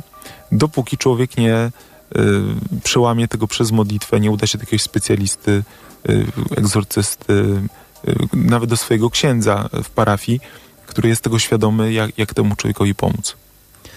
Mateusz napisał na Facebooku: Dobry wieczór szanownym gościom. Mam takie pytanie dotyczące osób zaginionych, które zniknęły w niewyjaśnionych okolicznościach. Kiedyś usłyszałem w konferencji głoszonej przez ojca Adama Szustaka, dominikanina, że niektóre te osoby mogły dostąpić w niebo wzięcia, podobnie jak w przypadku Matki Bożej. Czy taka sytuacja jest możliwa i jak to tłumaczy nauka Kościoła Powszechnego? Czy mam wrażenie, że chyba e, ksiądz ojciec Adam Szucak został niezrozumiany, bo raczej to komicznie brzmi. E, natomiast jeśli chodzi generalnie o kwestię wykorzystywania parapsychologicznych e, umiejętności jasnowidzenia w poszukiwaniu osób zaginionych, e, w latach 90. praktycznie w trzech największych krajach zajmujących się tego typu działalnością, czyli Stany Zjednoczone, Brazylia i Anglia, zrobiono całkowite podsumowanie e, wieloletniej działalności e, z parapsychologami czy jasnowidzami e, i okazało się, że niestety kompletnie pomóc nie mogą. Poza jakimiś pojedynczymi przypadkami e, okazało się, że jasnowidzowie e, zawiedli całkowicie i praktycznie e, ostatecznie zrezygnowano całkowicie też z ich usług. Także e, pomaganie osobom zaginionym poprzez y, dar jasnowidzenia okazał się całkowitym fiaskiem. Pytanie, e, które ja przynajmniej nie do końca wiem, czego może dotyczyć, bo ja to odbieram przynajmniej jako oksymoron, ale przypuszczam, że księża będą wiedzieli, w czym rzecz. Tomasz y, pisze tak. Czy świadome śnienie też jest zabronione przez Kościół? Nie wiem, co to jest świadome śnienie, bo nigdy o czymś takim nie słyszałem, ale rozumiem, że coś takiego istnieje. Tak, ja miałem niekończące się dyskusję w gimnazjum na katechezie na temat świadomych snów y, oraz wychodzenia z ciała. Y, wychodzenie z ciała, y, czy, czy tak, tak zwane podróże astralne, OOBE, Out of Body Experience, to jest y, ewidentnie spirytyzm. To jest wchodzenie w kontakt z duchami, świat duchowy i to wszystko, o czym mówiliśmy wcześniej, że, że Pismo Święte wyraźnie zabrania takich praktyk. Natomiast ten świadomy sen wygląda o wiele bardziej E, tak nie, niewinnie, bo, bo to chodzi o to, że człowiek kontroluje treść swojego snu, mając świadomość cały czas tego, że, że jest w śnie, a jednak e, go kontroluje. E, troszeczkę mi się przypomina tutaj film Incepcja, prawda, który jest bardzo taki intrygujący. Tak, na pewno, Michaela Nolana. Tak.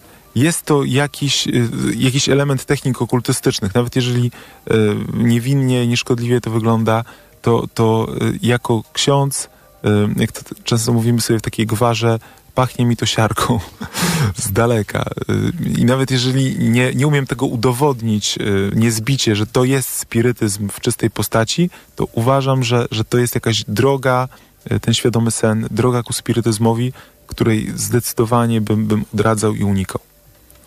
Weronika napisała: Ten krzyk diabła, gdybym wiedział, co wybrałem, niekoniecznie jest krzykiem przyznania się do winy. Szczerze wątpię. Jest to krzyk żalu, że wybrałem coś, co jest dla mnie niefajne. To trochę jak ze złodziejem w więzieniu. Żałujesz, że ukradłeś? Nie, żałuję, że zbyt wolno biegłem i dałem się złapać. To jest zupełnie inna świadomość i zupełnie inna motywacja. Sam okrzyk nie wyświetla nam zamysłu. No, yy Okrzyk pewnie sam nie, natomiast y, to, co y, było dookoła tego okrzyku, jak pamiętam dosłownie płacz diabła, to, to było zdumiewające słyszeć płaczącego diabła. Y, ale to nie jest najważniejsze. Najważniejsze jest to, co egzorcysta powiedział następnie, że jeśli żałujesz, to upokórz się, unisz się przed Bogiem i poproś Go o przebaczenie. I z tego płaczu momentalny wrzask nigdy. E, wrzask dumy, nie? wyniosłości. Nigdy. I tu jest cały problem, o który rozgrywa się ta batalia, że można w jakiś sposób widzieć swój błąd, widzieć, że się źle wybrało, e, ale być zbyt dumny, żeby poprosić o przebaczenie. Ja parę lat temu mm, e, z taką rozmowę przeprowadziłem dosyć długo z siostrą Angelą Muzolezi, asystentką ojca Gabriela Amorta, ówczesnego szefa egzorcystów e, światowego, światowa głowa e, egzorcystów. Mm, no i siostra mówiła, że też widziała raz szatana płaczącego, tego złego ducha że, że miała takie podczas egzorcyzmów e, spotkanie z tym złym duchem, który rzeczywiście płakał, żalił się potwornie. E, I on był już, że tak powiem, tą modlitwą e, do tego stopnia mm, jakoś zmiękczony, że odpowiadał na pytania, które mu się zadawało. I dlaczego ty płaczesz? Nie? Dlaczego? No bo Bóg mnie tak skarał. Właśnie, a to przecież była jego decyzja. Czyli nawet kiedy ten zły duch cokolwiek nam mówi, co wydaje się jakoś jego skruchą czy czymś, to i tak jest w tym kłamstwo. Tak, tak. Nie ma, nigdy nie ma prawdy w tym, co mówi, to, co mówi. Zawsze jest jakaś manipulacja. Zrzucanie winy na Boga, nie, nie mhm. na siebie.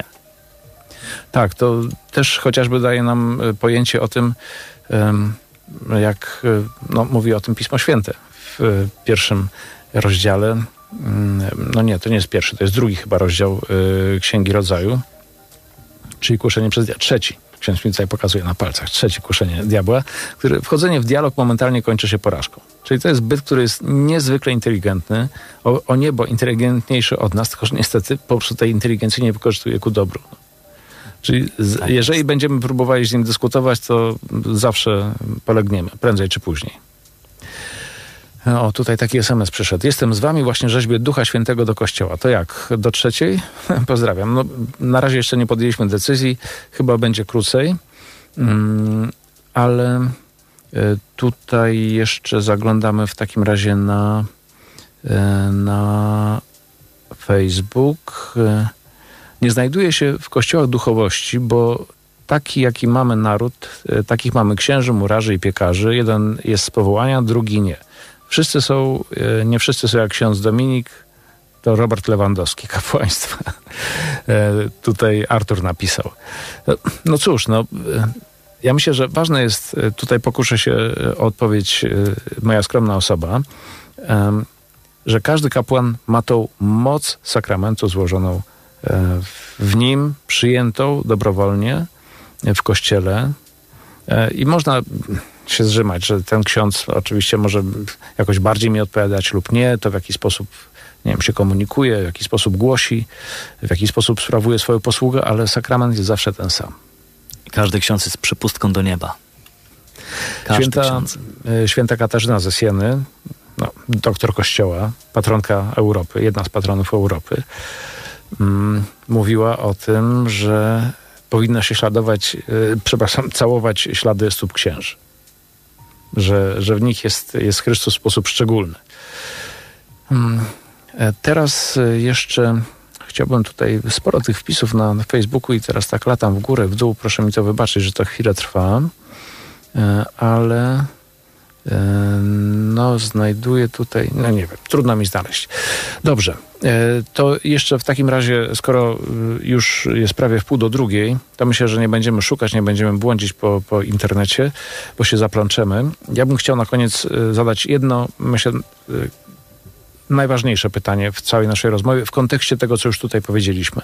Bo resztę to już polecamy słuchaczom, by sami doszukali to, co ich tutaj zainspirowało w naszej rozmowie przez już dwie i pół godziny.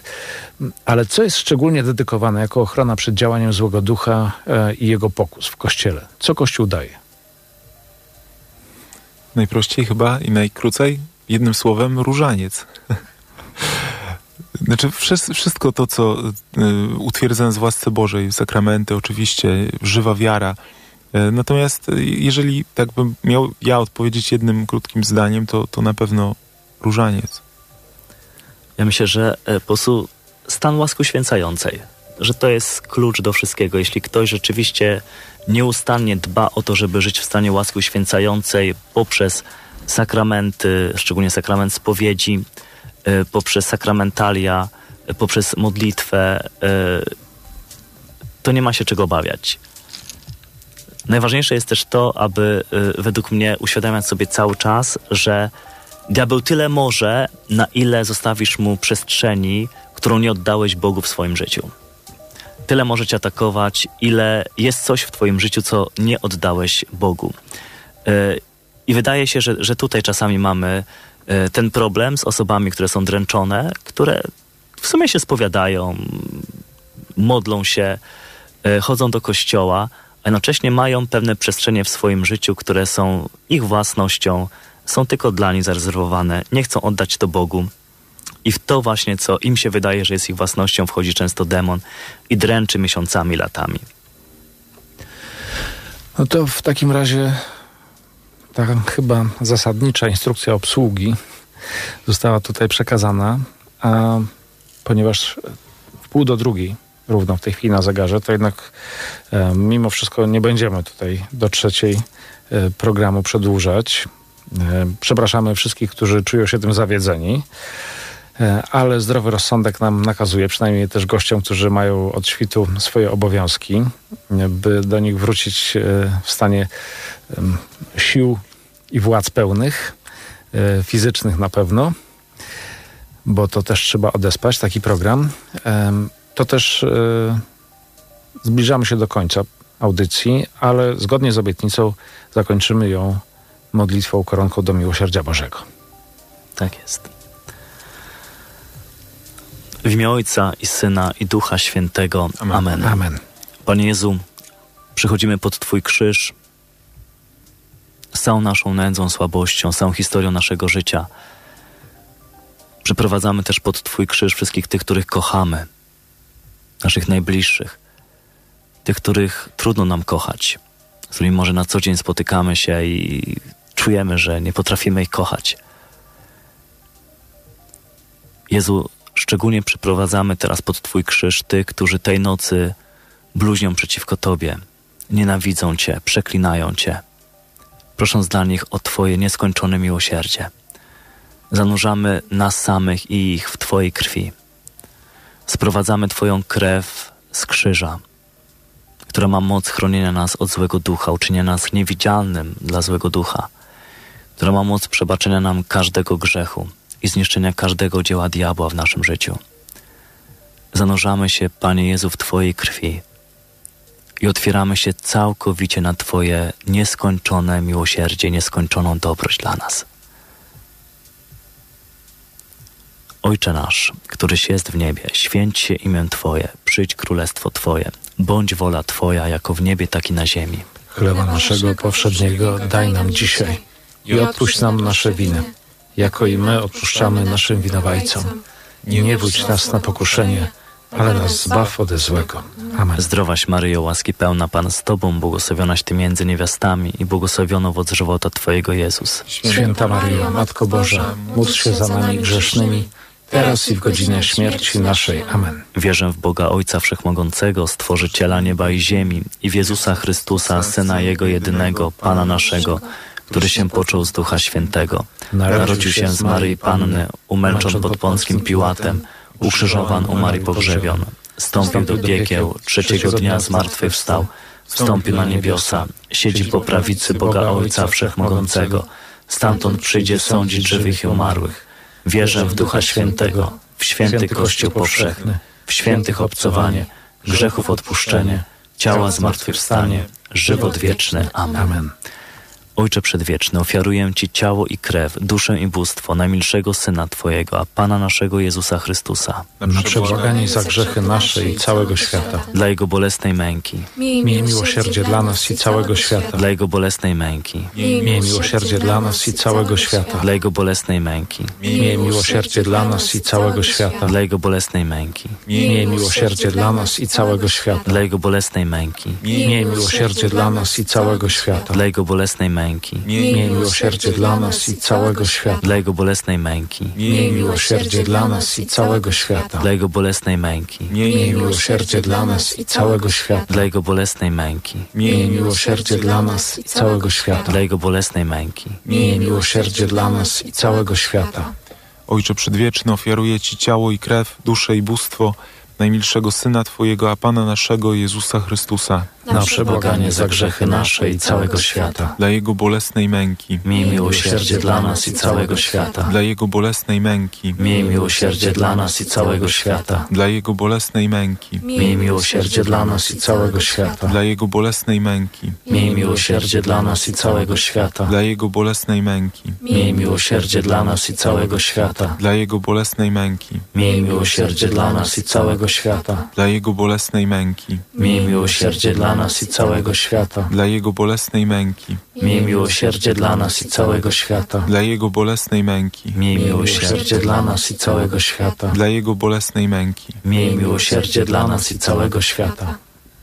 Ojcze Przedwieczny, ofiaruję Ci ciało i krew, duszę i bóstwo najmilszego Syna Twojego, a Pana naszego Jezusa Chrystusa, Na przebłaganie za grzechy nasze i całego świata. Dla Jego bolesnej męki, Miej miłosierdzie dla nas i całego świata. dla Jego bolesnej męki, Miej miłosierdzie dla nas i całego świata. dla Jego bolesnej męki, Miej miłosierdzie dla nas i całego świata. dla Jego bolesnej męki, Miej miłosierdzie dla nas i całego świata. Dla Jego bolesnej męki, Miej miłosierdzie dla nas i całego świata. dla Jego bolesnej męki, Miej miłosierdzie dla nas i całego świata. dla Jego bolesnej męki, Miej miłosierdzie dla nas i całego świata. dla Jego bolesnej męki, Miej miłosierdzie dla nas i całego świata. dla Jego bolesnej męki, Miej miłosierdzie dla nas i całego świata. dla Jego bolesnej męki, Miej miłosierdzie dla nas i całego świata.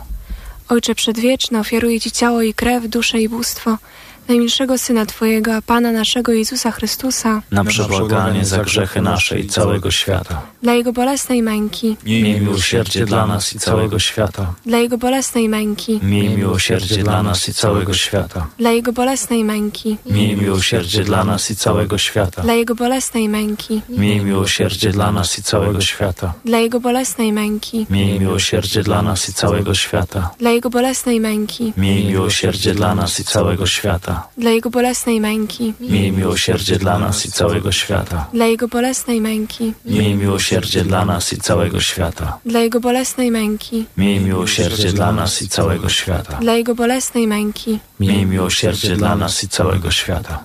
Ojcze Przedwieczny, ofiaruję Ci ciało i krew, duszę i bóstwo najmilszego Syna Twojego, a Pana naszego Jezusa Chrystusa, Na przebłaganie za grzechy nasze i całego świata. Dla Jego bolesnej męki, Miej miłosierdzie dla nas i całego świata. dla Jego bolesnej męki, Miej miłosierdzie dla nas i całego świata. dla Jego bolesnej męki, Miej miłosierdzie dla nas i całego świata. dla Jego bolesnej męki, Miej miłosierdzie dla nas i całego świata. dla Jego bolesnej męki, Miej miłosierdzie dla nas i całego świata. dla Jego bolesnej męki, Miej miłosierdzie dla nas i całego świata. Dla Jego bolesnej męki, Miej miłosierdzie dla nas i całego świata. dla Jego bolesnej męki, Miej miłosierdzie dla nas i całego świata. dla Jego bolesnej męki, Miej miłosierdzie dla nas i całego świata. dla Jego bolesnej męki. Miej miłosierdzie dla nas i całego świata. Święty Boże, święty mocny, święty nieśmiertelny, Zmiłuj się nad nami, nad całym światem. święty Boże, święty mocny, święty nieśmiertelny, Zmiłuj się nad nami, nad całym światem. święty Boże, święty mocny, święty nieśmiertelny. Zmiłuj nad nami, nad całym światem. O krwi i woda, któraś wytrysnęła z Najświętszego Serca Pana Jezusa jako zdrój miłosierdzia dla nas. Ufamy Tobie. Święta Maryjo, Matko Miłosierdzia, Módl się za nami. święta siostro Faustyno, Módl się za nami. wszyscy święci i święte Pańskie. Módlcie się za nami. Błogosławimy wszystkich słuchaczy i dusze wszyscy cierpiące. Pan z wami. I z duchem Twoim. Nie was błogosławi i strzeże Bóg Wszechmogący, Ojciec i Syn i Duch Święty. Amen. Wielkie serdeczne Bóg zapłać. E, Dzisiaj, jak Państwo zdążyli zauważyć, sytuacja wyjątkowa. Nocne światła dużo, dużo później się skończyły. Na zegarze 21 minut do godziny drugiej. E, Prawie, że rekord. A na pewno sytuacją wyjątkową było to, że nie sześć, jak to zwykle części bywa, ale nawet pokusiliśmy się o siódmą. Ale też temat i treści, które poruszaliśmy, mam nadzieję, że były ważne dla Państwa i poruszające i pozostawią e, no, taki głód poszukiwania tego, czego tutaj nie zdążyliśmy nawet dopowiedzieć przez te prawie trzy godziny. Z tego, co Państwo zdążyliście napisać tutaj e, w SMS-ach i na Facebooku, widzimy, że jest oczekiwanie, e, że te treści pewnie warto, żeby wróciły tutaj na do nocnych świateł, do, do dyskusji, więc y, nie mówię nie. Y, Pewnie przyjdzie czas, że y, będziemy także kontynuować wątki, te, których nie udało nam się tutaj dzisiaj albo mm, do tego stopnia wysycić, albo zakończyć, albo poruszyć nawet, mm, żebyśmy mogli tutaj je ponownie jakoś przedyskutować w studiu z gośćmi i ze słuchaczami. Rzecz jasna. Dziś e, ten program już dobiega końca. Przypomnę jeszcze raz, że inspirowaliśmy się książką Agostino Tomasellego Bezcieleśni. Zachęcamy do lektury. Dwóch, e, dwoje bądź dwie osoby, tak chyba lepiej powiedzieć, bo nie wiem jaka płeć e, osób, które wygrały, przynajmniej tej jednej. Nie wiem, która wygrała SMS-em, natomiast wiem, która wygrała na Facebooku. Ale mm, zachęcamy do lektury. Tutaj jeszcze w SMS-ie znalazłem jedną polecaną lekturę. Mm, Momencik, już e, chyba mi uciekła znowu, za dużo tego. A, a już widzę. E, Piękna strona zła. Hm. Johanna Michalsen E, jest w internecie. Nowonarodzony, pozdrawiam. E, No mniemam, że to dobra lektura i Boża. Zachęcam do przyjrzenia się temu. Ja nie znam tej książki, ale mm, skoro poleca to nowonarodzony, to rozumiem, że nowonarodzony w Duchu Świętym. Więc książka powinna być dobra. E, Rozmawialiśmy o tej rzeczywistości, która nas otacza, choć jej nie widzimy. I to ten czas, który w najbliższych dniach będzie przeżywany w kościele i mam nadzieję przez nas, e, również jest zaproszeniem do tego, by w tę rzeczywistość duchową wchodzić e, i, tak jak księża tutaj mówili, swoją modlitwą, ofiarami duchowymi, czy też ofiarowaniem cierpienia, odpustami za zmarłych, wspomaga, wspomagać ich, wspierać tych, którzy sami nie mogą się e, przed Bogiem w jakiś sposób uwolnić od swoich cierpień. My możemy im pomóc. Dusze zmarłych. E, Niech będą obecne nie tylko wśród nas, ale w naszych sercach. Do tego zachęcamy nie tylko podczas uroczystości Wszystkich Świętych, czy oktawy tej uroczystości, czy podczas Dnia Zadusznego, ale też o pamięć w modlitwie każdego dnia. Gośćmi programu przez ostatnie dwie godziny 40 minut z e, lekkim okładem byli księża Dominik Chmielewski, serdeczne dzięki, wielkie Bóg zapłać i ksiądz Michał Majer. Też wielkie dzięki, Bóg zapłać, Salezjanie, duszpasterze akademicy e, z Uniwersytetu Kardynała Stefana Wyszyńskiego oraz dwie miłe damy, które co prawda może w niewielkim stopniu się udzielały, ale były cały, cały czas obecne duchowo, tutaj z nami i cieleśnie również, ale e, co najważniejsze, wspólnie na koniec pomodliły się z nami. Aleksandra, wielkie dzięki Dziękuję. i Magda, także wielkie dzięki. Dziękuję. Obie panie ze wspólnoty duszpasterstwa akademickiego UKSW. Dziękuję także wszystkim słuchaczom, którzy dotrwali do tej e, późnej pory. Mm, Dziękuję za wszystkie SMS-y i wpisy na Facebooku, bardzo liczne. E, Przepraszam, że nie wszystkie udało się przeczytać. To po prostu było niemożliwe. Mam nadzieję, że będą e, Państwo wyrozumiali dla mnie.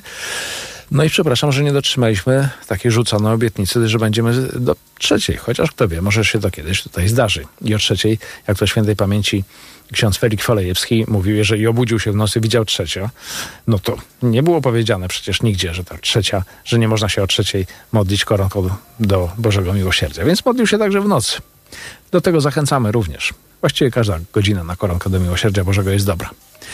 Zapraszam do Nocnych Świateł od poniedziałku do czwartku. To już było ostatnie wydanie w tym tygodniu. Usłyszymy się ponownie dopiero w poniedziałek, tuż po 23. Natomiast ponad 350 archiwalnych wydań znajdziecie Państwo na stronie radioplus.pl w zakładce programy.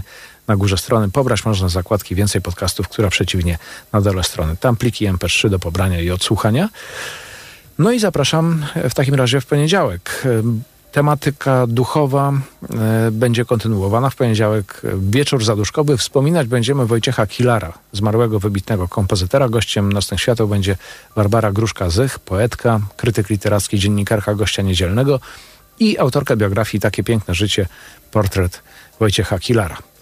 E, Wspominałem także, że w przyszłym tygodniu rozmowa o świętych codziennego użytku z Szymonem Hołownią. E, To w czwartek. Natomiast zapowiadałem, że w najbliższym czasie ojciec Michał Haberek, dominikanin ze Stanów Zjednoczonych, pojawi się w Polsce. Wstępnie e, wyglądało to na 10 listopada, że wtedy będziemy rozmawiać o tym, czy świat został stworzony, czy e, powstał w wyniku ewolucji. E, Ale chyba się spotkamy mm, w najbliższy wtorek. Będzie ku temu okazja.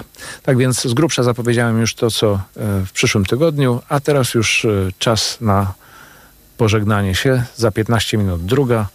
To już koniec dzisiejszego wydania Nocnych Świateł, nadzwyczaj długiego. Jeszcze raz dziękuję Państwu za uwagę. Kłaniam się nisko. Dobrej nocy, zostańcie z Bogiem. Paweł Krzemiński. Do usłyszenia. Radio Plus. Nocne światła. Nocne światła.